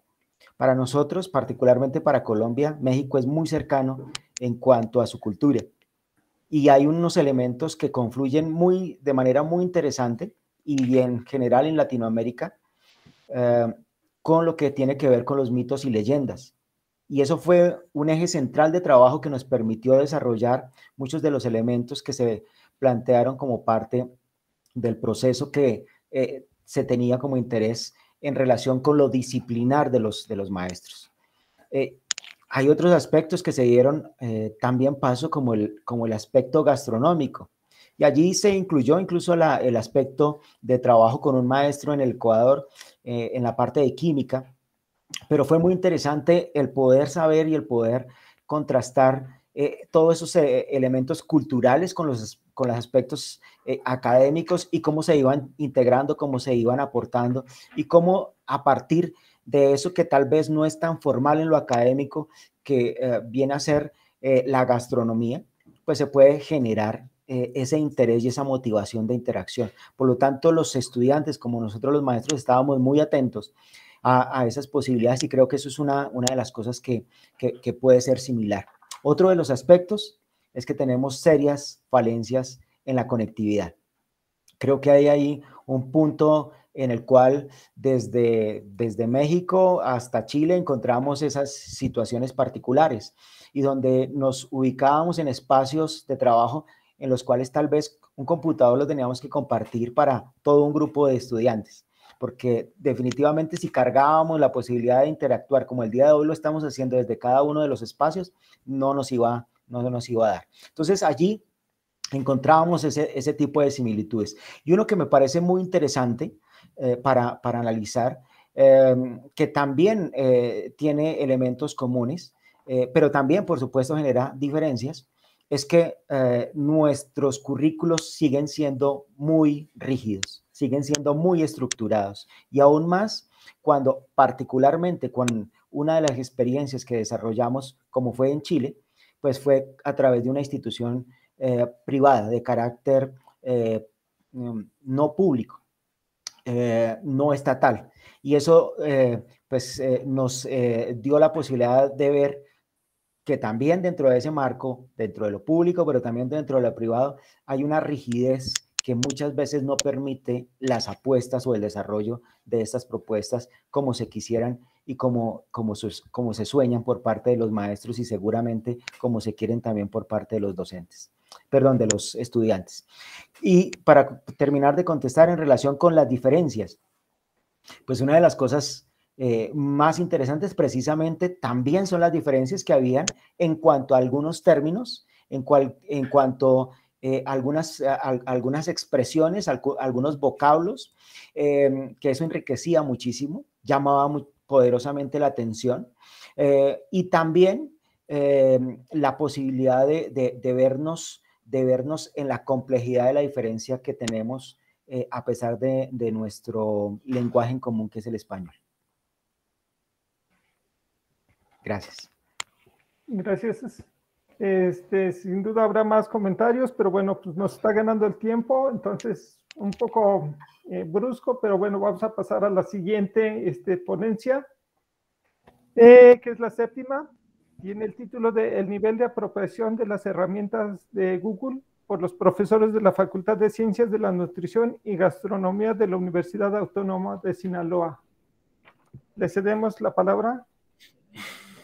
Muy bien, muchas gracias. Nada más confirmar si se escucha y se ve la diapositiva. Um, ahora está el PowerPoint y sí, sí te escuchamos. Perfecto. Ya, se mira, ¿verdad? Sí.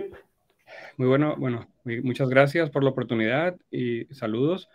Eh, la siguiente ponencia lleva por nombre el nivel de apropiación de las herramientas de Google por los profesores, ¿no? Así como lo comenta usted. Eh, este trabajo, bajo la eh, los bueno, bajo los autores, eh, su servidor, Jesús Ernesto Duarte Gastelu, José Manuel Mendoza Román y José Alberto Alvarado Lemos. Muy bien, les platico un poco de, esta investigación. Eh, esta investigación surge de la observación y de aquel acercamiento con los profesores. Entonces tiene mucho que ver con la parte de la formación docente, donde se detectan esas áreas de oportunidad en el conocimiento y dominio de las tecnologías y en especial ah, había mucha inquietud por la parte de las herramientas de Google, porque se fomentaba y se trataba de implementar, estaba entre Microsoft, Google.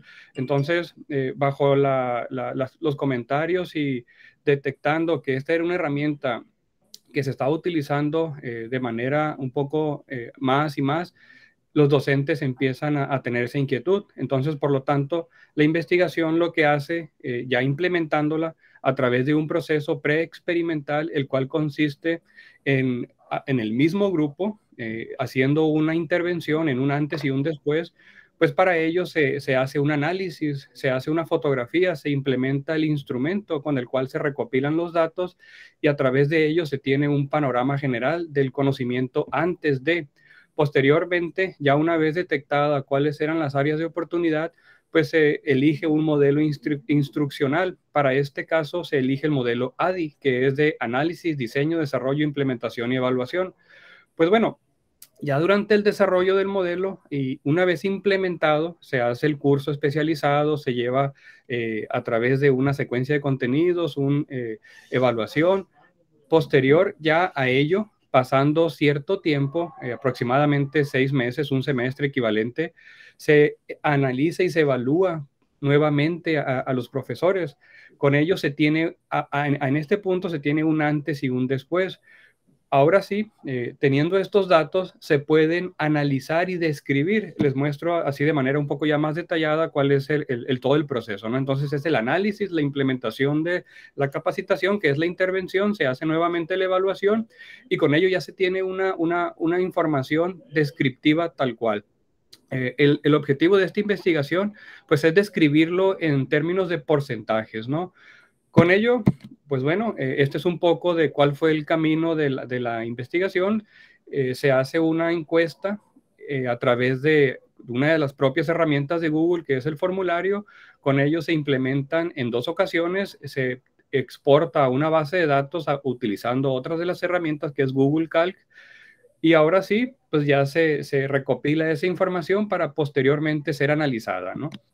la metodología implementada para esta investigación es una metodología eh, cuantitativa con un alcance descriptivo y el diseño es un pre-experimento como lo comenté anteriormente, ¿no? Para lo cual se describe mediante porcentajes aquellos resultados obtenidos. El muestreo fue un no probabilístico por conveniencia, esto es debido a que fue a los sujetos que se tuvo disponibilidad para la investigación. Ahora, eh, la escala que se implementó fue una escala tipo de Likert, la cual nos permitió hacer una conversión a, valores y con ello poder hacer el análisis numérico. Eh, la relevancia de este estudio fue determinar, eh, como lo comentaba, los niveles de apropiación de conocimiento de las herramientas de Google por parte de los profesores basado en un modelo instruccional ADI. Muy bien, aquí les muestro cuál es, ah, o igual, un panorama muy general de, la captura de los datos ya convertidos a, números eh, del pre-test y el post-test, que así lo, define, lo define el pre-experimento, y con ello pues ya tener una, comparación, ¿no? Eh, aquí ya cuando tenemos números podemos hacer eh, aplicación de estadística, pero para esta investigación solamente en esta partecita es meramente descriptivo, ¿no? para las ítems y cómo fue eh, basado esta o cómo se construyó este, este instrumento, pues fue basado en una variable principal que son las herramientas de Google y con tres dimensiones muy específicas, que es el correo electrónico, almacenamiento en la nube, eh, trabajo colaborativo y por último plataforma educativa y video. Bueno, eh, ya específicamente se tuvieron más indicadores y para eh, definirlo de manera más detallada, se valoraron los ítems para cada uno de los indicadores, dando un total de 26.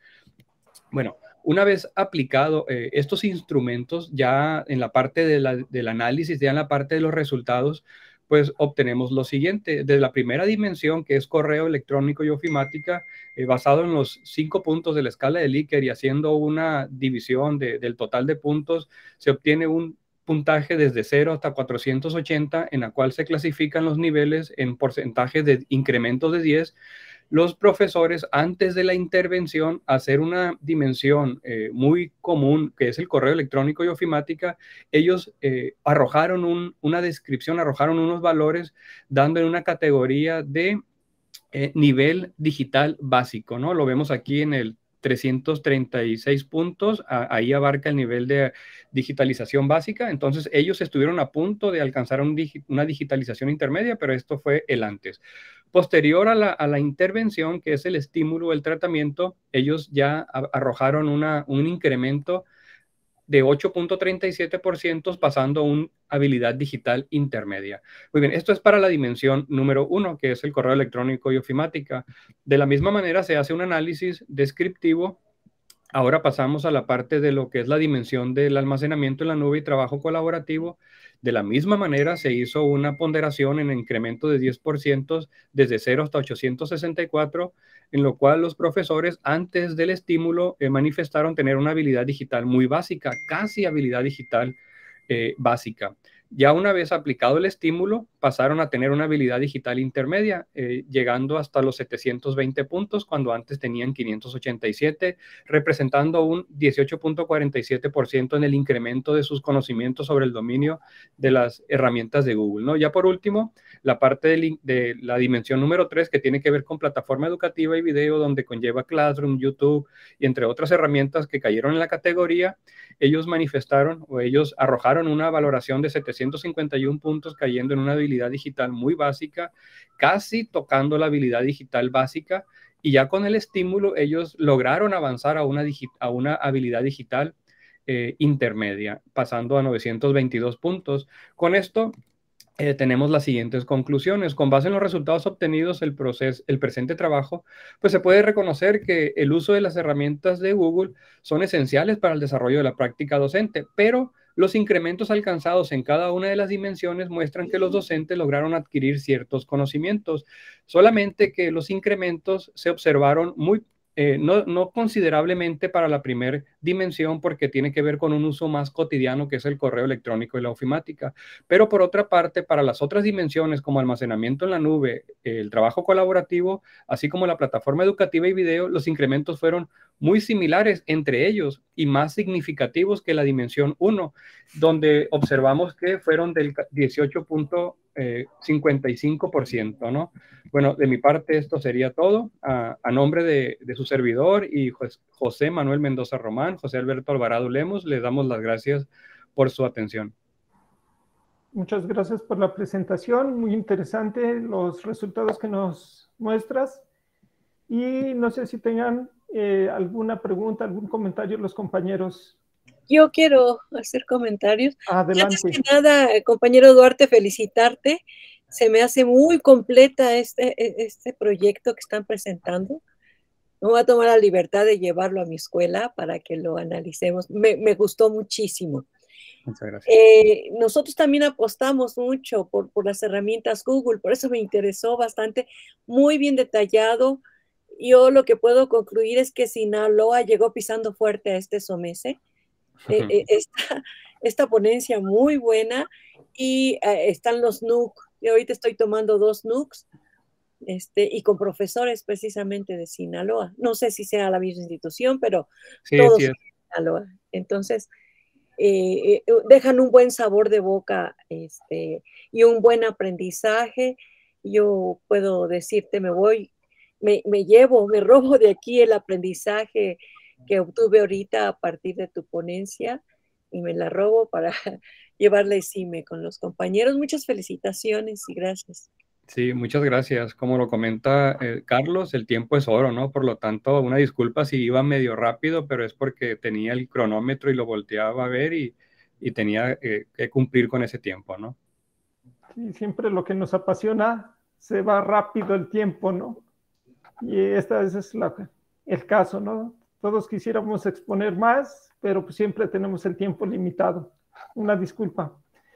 Bueno, creo que no hay ninguna pregunta más. Pasamos a la siguiente, este, que lleva el título de Estrategias Didácticas en el SUAYET de Economía en la UNAM. Adelante, por favor.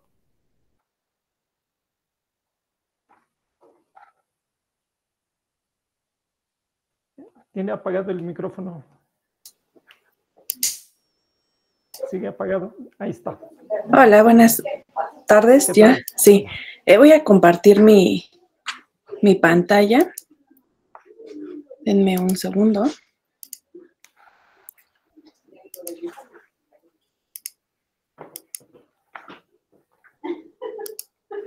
Ok, la voy a abrir.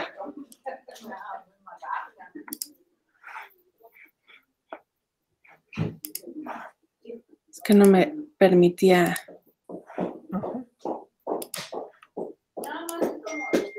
compartirla. ¿Ya la pueden ver? Está cargando. Perfecto, ahí está. Perfecto. Bueno, eh, nosotros somos de la Facultad de Economía del SOAYE de aquí en la UNAM y eh, los autores somos Karen Amezcua, Jacqueline Brivisca Servidora y eh, Ignacio Cruz. Lo que les vamos a presentar nosotros, bueno, son las estrategias didácticas que utilizamos aquí en el Sistema Universidad Abierta de Educación a Distancia de la Facultad de Economía. Evidentemente, ante eh, una necesidad por la pandemia, en la facultad, o bueno, el, el sistema de universidad abierta se vio la necesidad de modificar nuestra, nuestra enseñanza como tal. No tanto en la parte de distancia, pero sí en la parte del sistema abierto. ¿Por qué no en el de distancia? Bueno, porque ya veníamos con un sistema autogestivo, ¿no?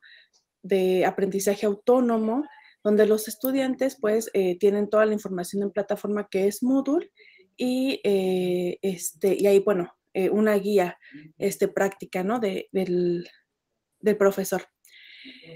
Al tener nosotros estas dos este, modalidades, pusimos un poco más de énfasis en la parte de modalidad abierta. Y lo que hicimos, que aplicamos tanto en distancia como abierto, fue hacer una dosificación temática. Esta dosificación lo que intuíamos es que le iba a dar más em, claridad al estudiante para poder este, saber qué es lo que tenía que entregar, qué es lo que le iban a enseñar y pues evidentemente poner esa, esa, limitante, ¿no? De, de, que ellos estuvieran enfocados en el tema o en las actividades que los docentes tenían que, este, bueno, les ponían y que ellos tenían que, que, que contestar.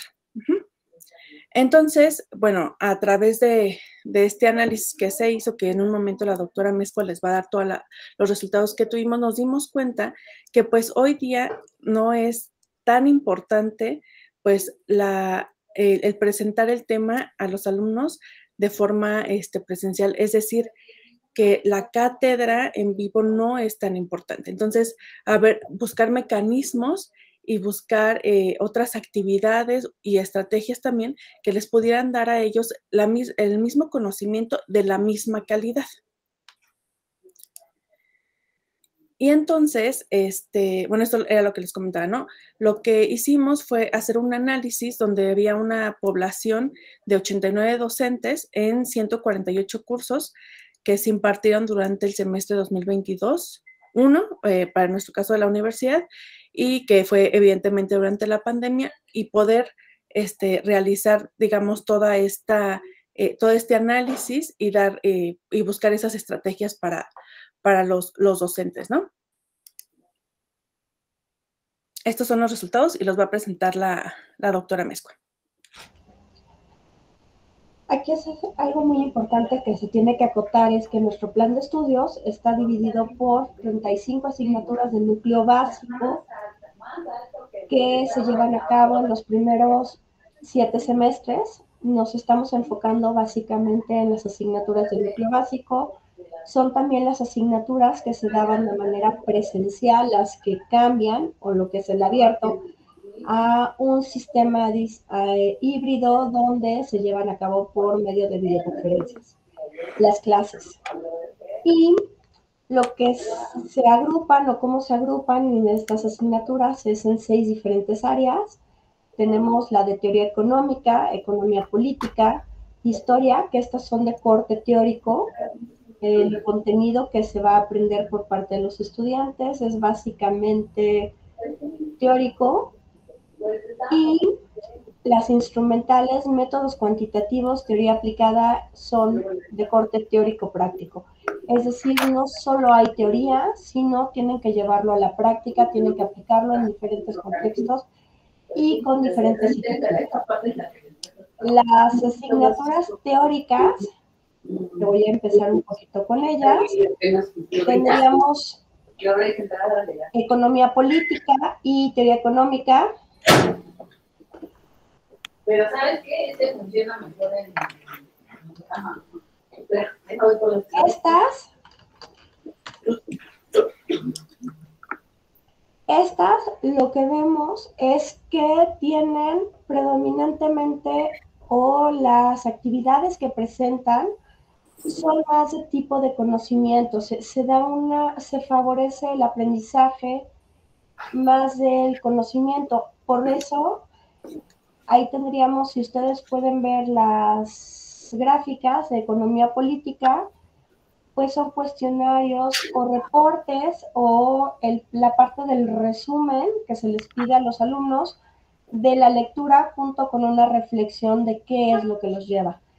Y la otra que te podríamos mencionar en este caso, la de historia, tiene mucho más mapas siempre le dan preferencia a las, este, al conocimiento y no tanto a la aplicación de este conocimiento. Tendríamos la siguiente, por favor. Asignaturas teórico-prácticas, como sería la de métodos cuantitativos. que aquí en particular tienen que hacer aplicación de ejercicios para poder encontrar o poder darle solución a diversos problemas y esto llevarlo a la aplicación ya en un contexto real. Y las instrumentales, donde si bien los exámenes tienen una importancia mayor, las prácticas en donde aplican ese conocimiento y pueden describir qué es o cómo es que se lleva a cabo, pues también son de las más utilizadas. Por último, tendríamos, este, tendríamos en las de teoría aplicada, que aquí en particular son teórico-prácticas y están, sí, la parte de los resúmenes, pero también se les pide que apliquen y que vean. La última, por favor. aquí lo único que vimos en todas las áreas indistintamente es que se utiliza el foro de reflexión para apoyar a los alumnos con este proceso, es donde se lleva a cabo la interacción entre docente y estudiantado, sí, y los chats para mantener una comunicación asincrónica cuando se considera necesario. ¿Qué podríamos concluir?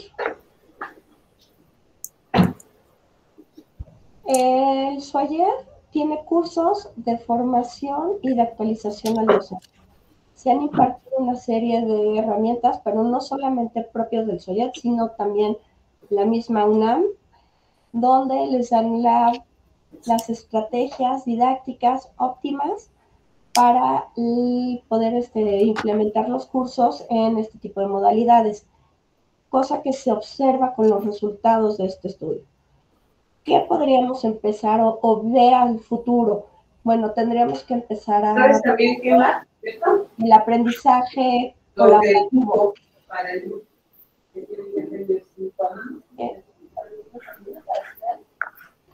Entonces, eso sería...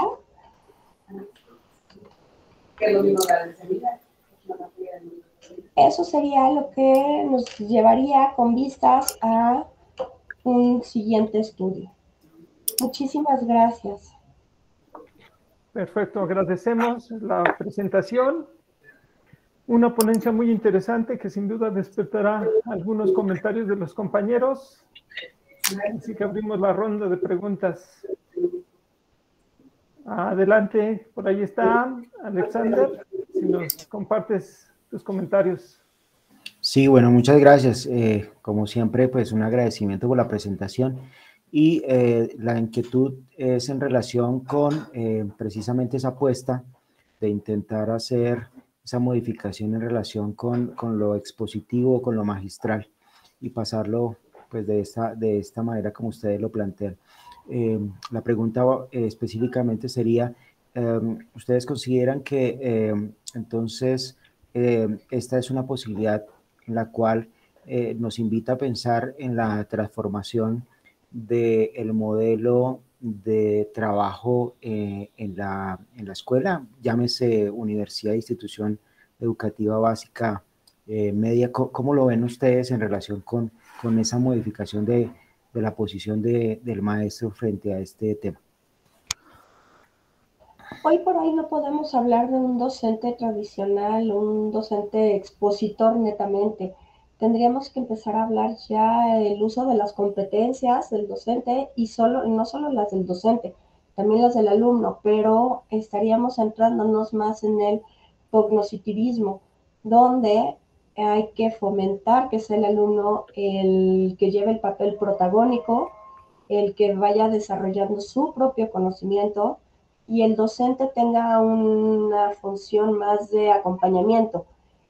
Eh, el cambio en la estrategia o aquí la implementación o lo más importante sería que si bien ya vamos a regresar a las aulas, no se regresa a la educación tradicional, como se tenía. Todo lo que se implementó a partir de la pandemia se siga aplicando para ya tener una educación más, si no, no me gusta hablar de corte híbrido porque implica otras cuestiones, sí con un mayor número de elementos y de recursos que apliquen no solo dentro del aula, sino que el alumno tenga un trabajo fuera y previo al aula. Además de que es, eh, bueno, agregando un poco a lo que comentaba la, doctora Mezcua, además que es en beneficio del estudiante. Eh, nosotros la verdad es que sí nos percatamos que hubo un antes y después en sistema abierto de, esta aplicación. Evidentemente hay más concentración del, estudiante y eh, se vuelve un poco más, este, lo, lo voy a decir así como este, coloquialmente, o sea, disfrutable para ellos. O sea, la verdad es que esta parte en la cual eh, es este, un, un, autoconocimiento o que ellos mismos buscan este, los temas, el material y demás, o sea, de verdad que los ha activado en, mucho, ¿no? Y, lejos de que digamos que la pandemia nos vino a cambiar todo un, esquema, la verdad es que sí nos ayudó mucho para que ellos tuvieran esa chispita y, poder, este, pues, revolucionarlos hasta cierto punto. Ok, agradecemos las respuestas. Y por tiempo, pues pasemos a la siguiente ponencia. Una disculpa. Este, la novena este, presentación tiene un nombre de competencias digitales docentes para favorecer los modelos de enseñanza, eh, perspectiva en la educación básica. Por ahí ya está nuestro ponente, ya está compartiendo y le cedemos el micrófono. Claro que sí. ¿Qué tal? Muy buenas tardes a todos ustedes. En primer término, quiero agradecer a ustedes, a todos los organizadores y participadores de este simposio SUMESE también a las autoridades de nuestro centro educativo, que es el Centro de Actualización del Magisterio en la Ciudad de México. Nuestro trabajo se denomina las competencias digitales docentes para favorecer los modelos de enseñanza. Perspectiva en la educación básica. Los autores son el, maestro en ciencias Marco Antonio Güemes, la, la doctorante Alejandra Samuel Palomar, la maestra Diana Elizabeth y su servidor, el doctor Ricardo Reza. Eh, podemos destacar que para atender la enorme matrícula de estudiantes que están en la educación básica en la Ciudad de México, aproximadamente 1.5 millones de estudiantes, se tiene que hacer una ardua labor, se tiene que construir un puente en lo que es la teorización, lo que se aborda en los currículos y encaminarlo a la práctica, la práctica que se desarrolla netamente en las aulas, indistinto de la modalidad que ésta se, se lleva a cabo. Eh, para esto el docente tiene que conformar y relevar ciertas competencias. Como sabemos, eh, las competencias docentes eh, se encuentran las básicas, las específicas y las transversales. Como sabemos, en los últimos, en los últimos años, toda la tecnología y la incorporación de esta a los sistemas educativos ha revolucionado altamente a la educación. Es por eso que esta tríada de competencias ya no es suficiente. En esta simposio entonces estamos hablando de, temas que están vinculados a la ciencia y tecnología y justamente de eso se trata esta nueva y cuarta competencia, bueno, relativamente nueva, ¿no? Que es la, la, competencia digital, la cual tiene que atender esas demandas sociales, contextuales, educativas y recordemos que al final de cuentas la educación que se vive está eh, direccionada por las organizaciones, los organismos internacionales como esto debe de encaminar a la transmisión de los, de los sabores y abordar estas nuevas prácticas digitales. Eh, tenemos que nosotros como docentes propiciar en los estudiantes aprendizajes significativos, como marca por ahí Brunner, teórico, Auswell, ¿no? Tiene que resolver problemáticas contextuales. Como sabemos, muchos vivimos una, una situación muy compleja por lo que se derivó por el coronavirus, ¿no? Entonces, ahí pasamos de manera obligada todos a un sistema digital. Pasamos de algo presencial a sistemas digitales completamente o sistemas híbridos conforme fue evolucionando la pandemia. ¿Qué pasó ahí? Nos dimos cuenta que nosotros docentes tuvimos que actualizar y ser más competentes en nuestras prácticas digitales.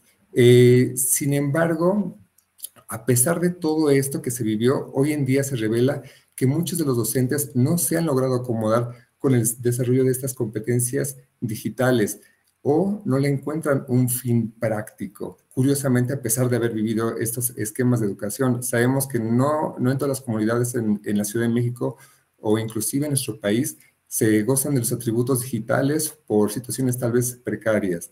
Eh, es por eso que los docentes tienen que adaptarse a cualquier esquema de, de trabajo. En nuestra metodología de investigación se realizó una investigación eh, de corte cualitativo descriptivo. Nuestra población fueron 413 docentes eh, de manera aleatoria. Estos docentes se encuentran realizando sus su labor profesional dentro de la Ciudad de México.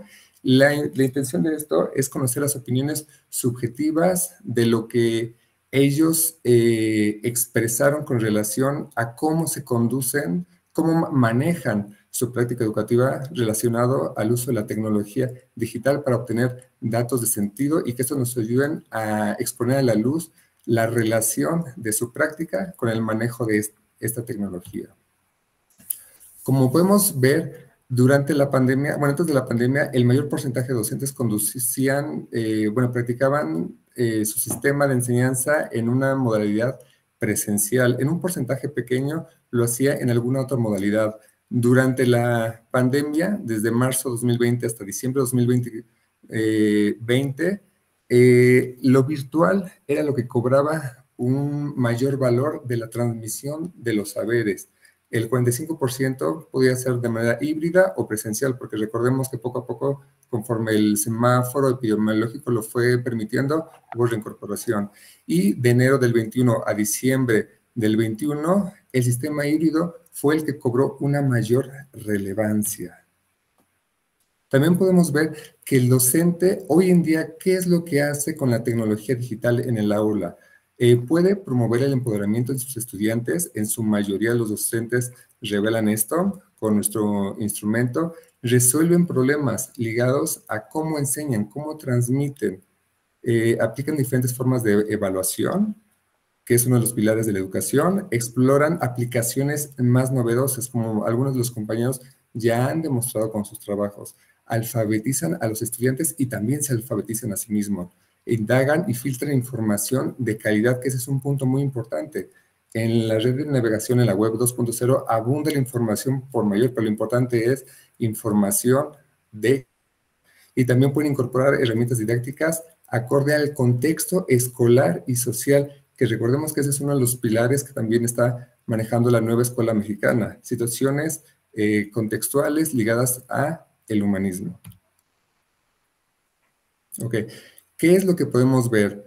Que con ayuda de, de la tecnología digital se pueden a su vez en sus variantes revelar el desarrollo de las tecnologías de la información y comunicación que sabemos que es una manera de cómo las personas, en este caso los docentes, aprenden sobre la tecnología.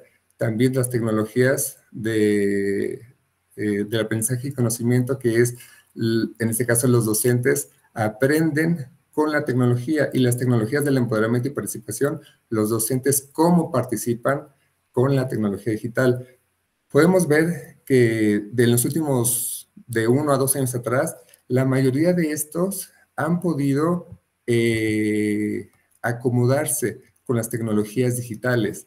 También, eh, bueno, con las TIC, las TAC y las TEP, pero se dan cuenta los porcentajes no son tan altos. En los últimos 3 a 5 años eh, pasa lo mismo. De 6 años hacia atrás, lo que se manejaba primordialmente eran las TIC. Las TAC no tanto y las TEP mucho menos. De 11 años para atrás, pues prácticamente lo que corresponde a, las TAC era minúsculo, al igual que las TEP. Y también un, algo que exalta mucho, un gran porcentaje de los docentes ni siquiera conocen qué son las TEP, ni siquiera las TAC. No las usan o las desconocen, o posiblemente si las usan, no saben que lo están implementando. ¿Ok? ¿Qué quiere decir? Que no se han capacitado, no se han actualizado y sería interesante saber qué pasa con las corrientes psicopedagógicas que están implementando en el aula.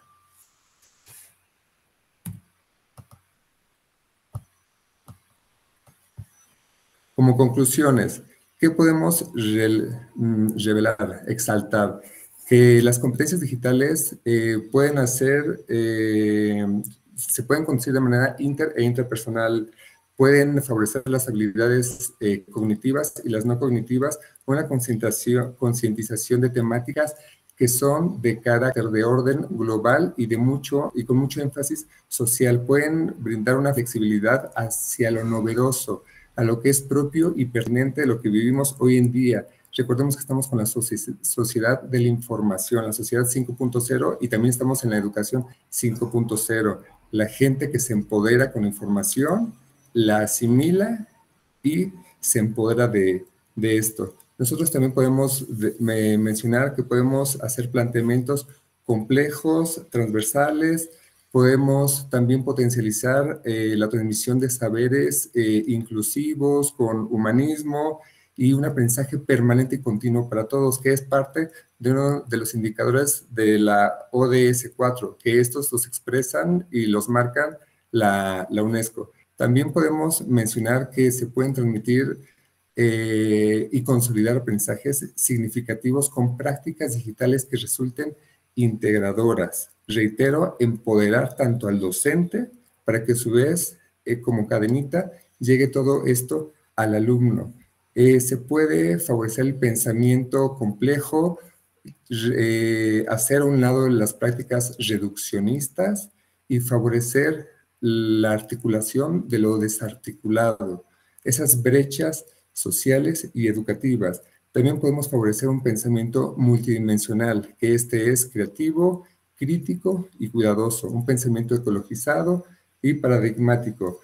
En pocas palabras, queremos que el docente sea quien sea ese foco, foco de, de, de que encuentre las formas de actualizarse, renovar sus saberes y que se adecue al contexto que se vive y que pueda atender de manera asertiva los currículos y por ende el perfil de egreso de los estudiantes.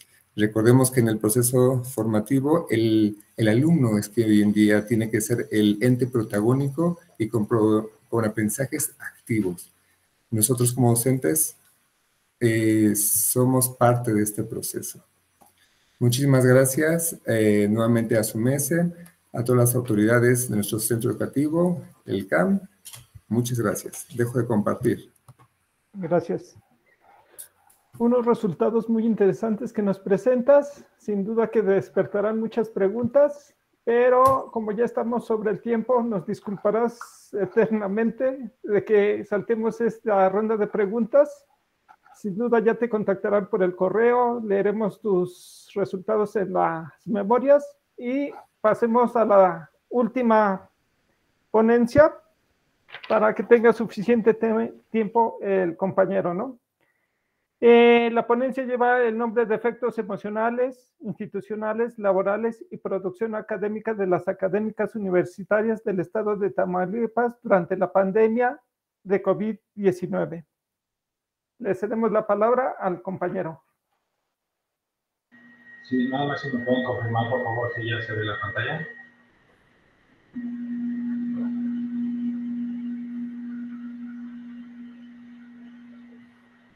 ¿Sí me escuchan bien? ¿Me escuchan? Disculpen. Sí, sí se escucha. ¿Ya, ¿Ya ven mi pantalla? Bueno, la presentación ya está, pero no se te escucha.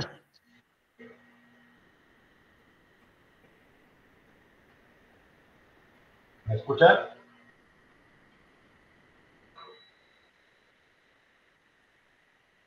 ¿Me escuchan?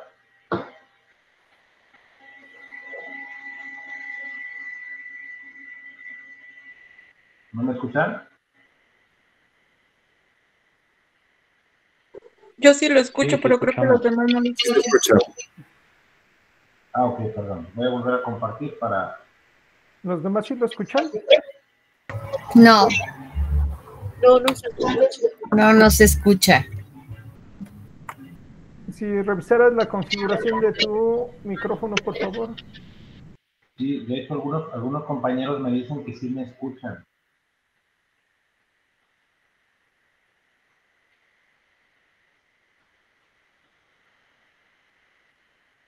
¿Me escuchan?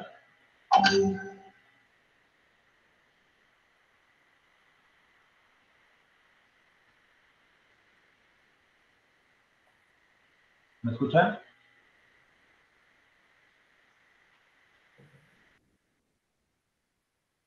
Sí, sí se escucha.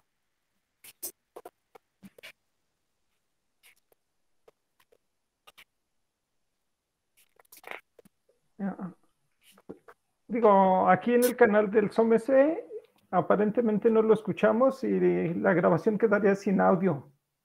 Entonces, si te vas a los tres puntitos que están al lado del teléfono, del icono del teléfono, está configuración y checas ahí el micrófono que estás utilizando.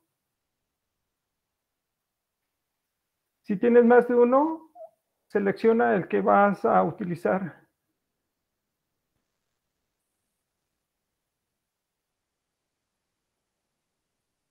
¿Ahí?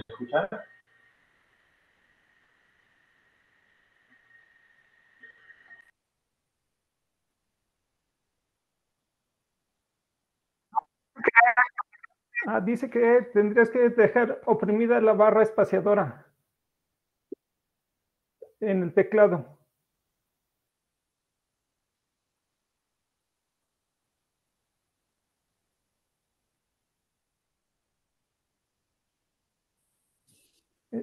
Exacto, ya lo deshabilitaste.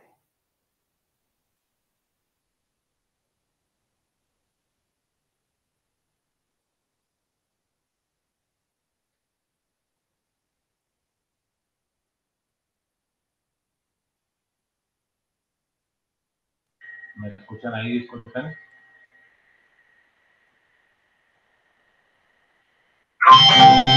Sigue sin audio.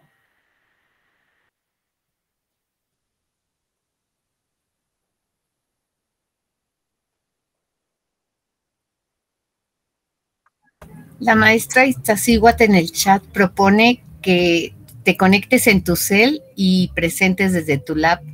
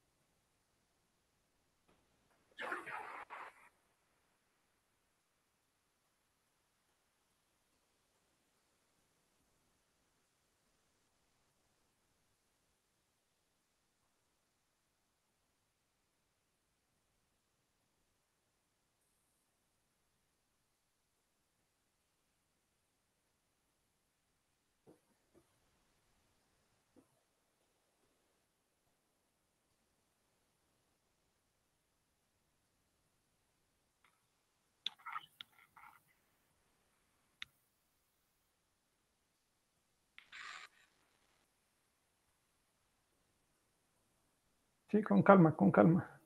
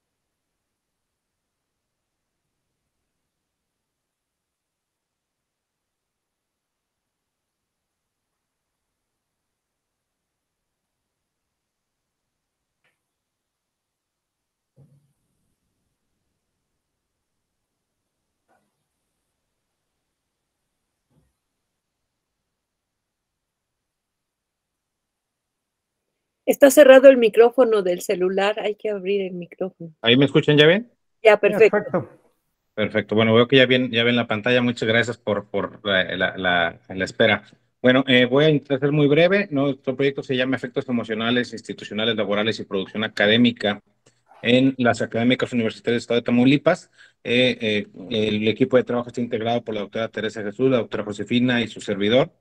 Eh, lo que nosotros intentamos hacer es que frente a esta crisis de la pandemia, E, esto trae consigo también retos educativos. Estos retos eh, no son cosa menor, son una serie de cambios inaplazables, tienen que ser rápidos, no solamente obedecen a temas eh, eh, de salud específicamente, sino que se vienen a un problema en donde cambian muchas cosas, cambian temas de mujer, bueno, temas de la familia, tema de las instituciones, regresamos a casa, pero también viene un tema en el cual hay afectaciones en, las instituciones, por ejemplo, y en las políticas públicas. Todo esto genera un efecto negativo en el bienestar de las personas, por lo cual nos planteamos como objetivo general analizar los efectos emocionales, institucionales, laborales y de producción académica particularmente de las mujeres académicas universitarias en el estado de Tamaulipas.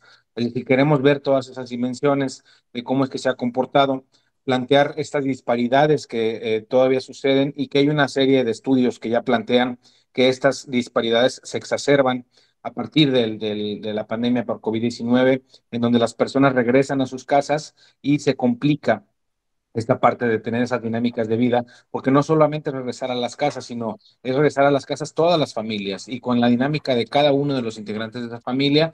Entonces, para ello lo que hacemos es un abordaje teórico inicialmente, en donde eh, planteamos a la vez de diferentes actores, autores, perdón, este, bueno, la superposición de actividades, por ejemplo, cómo, cómo tuvieron que conjugar las personas, el trabajo la familia, la escuela, al interior de la, de la, de la familia y qué tanto afectó, cómo han sido afectaciones en la salud física, más allá de tener o no tener COVID, es, más estrés, hay, hay ansiedad, qué, qué tipo de, de actividades han, tenido que enfrentar las personas en el interior de sus familias, pero también viene un tema de cuáles son esas prácticas en el mundo laboral, qué, tan listas estaban las instituciones para adaptarse a esta nueva realidad sin que fuera un tema de inequidades y que, bueno, nos damos cuenta que finalmente las mujeres aún siguen siendo, aunque ha habido avances importantes, sigue habiendo una subrepresentación por parte de las mujeres en los ámbitos académicos de profesorado.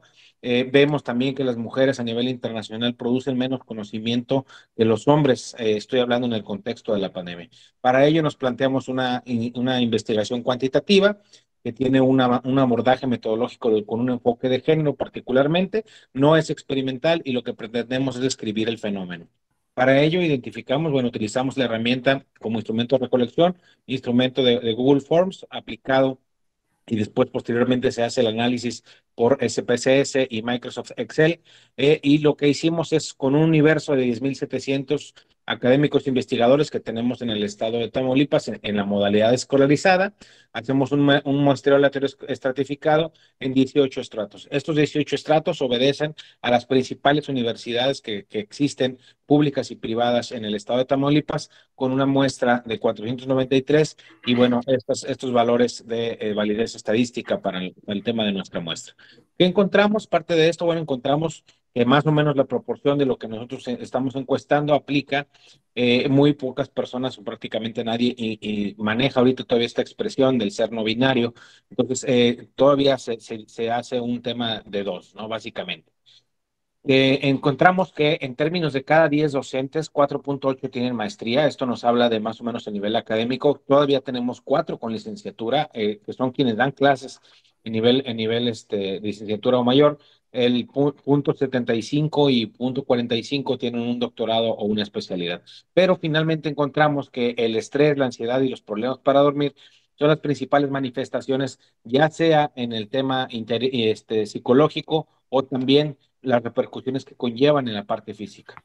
Eso nos lleva también a encontrar que de cada 10 personas, 5 cambiaron sus funciones laborales desde que, desde que inició la pandemia, reportan que hay reducciones de personal y desabasto de insumos, materias primas. Si bien ahorita estamos regresando, el, el tema de, de, de, saber qué es lo que pasó es una manera también de evaluar cómo nos encontramos como instituciones educativas, en qué punto nos encontramos y qué tan fácil nos adaptamos o no a estos, a estos cambios obligados, ¿no?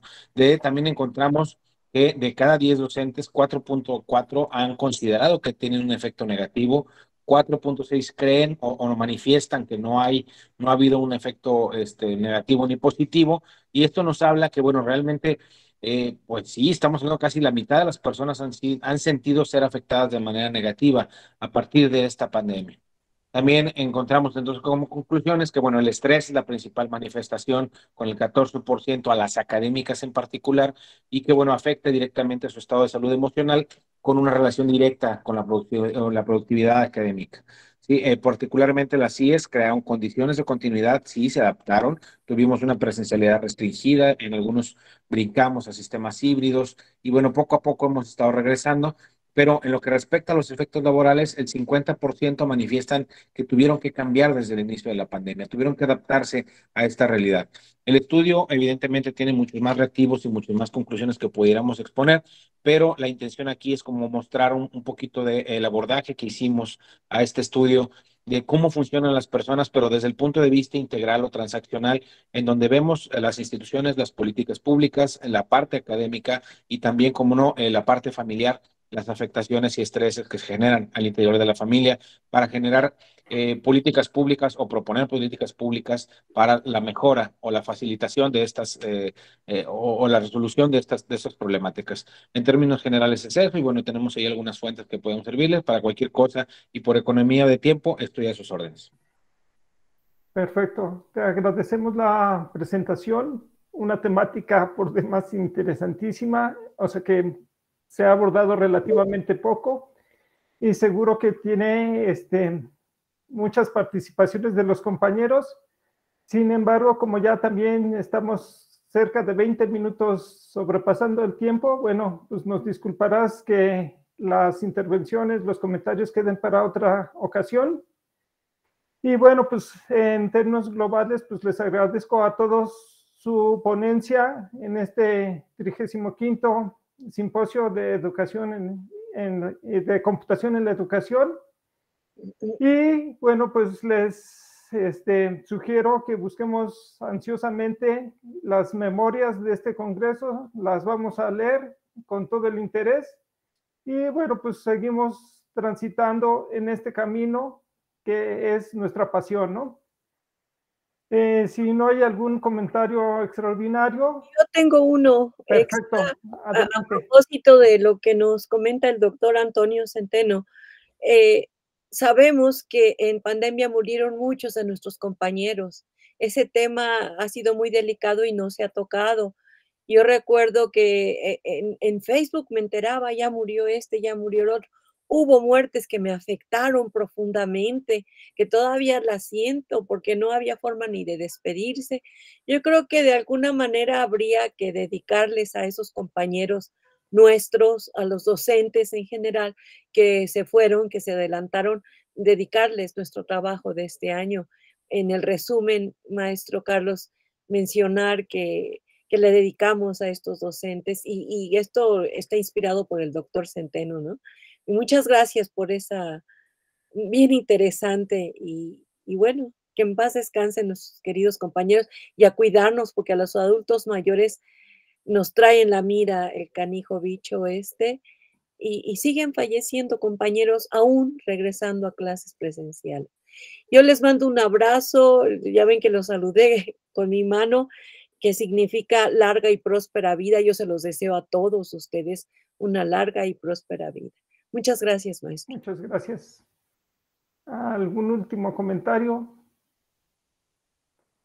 Bueno, pues yo transmitiré su sentir a los organizadores del SOMESE eh, para ver la posibilidad de que se dedique esta, este, esta memoria del Congreso a todos nuestros compañeros, ¿no? Que, que lamentablemente han fallecido, ¿no? Bueno, pues eh, si no hay más preguntas o comentarios, pasamos a darle nuestro más afectuoso agradecimiento en nombre de la Sociedad Mexicana de Computación en la Educación a todos los participantes del presente conversatorio por compartir las interesantes y relevantes investigaciones que han realizado. Bueno, pues que tengan muy buena tarde y seguiremos en contacto. Un abrazo. Gracias a todos. Hasta luego. Buenas tardes. Saludos a todos. Hasta luego. Gracias. hasta luego. Saludos. Hasta luego. Saludos. Hasta luego. Gracias. Maestro Antonio, le pedía que si nos podía poner su correo.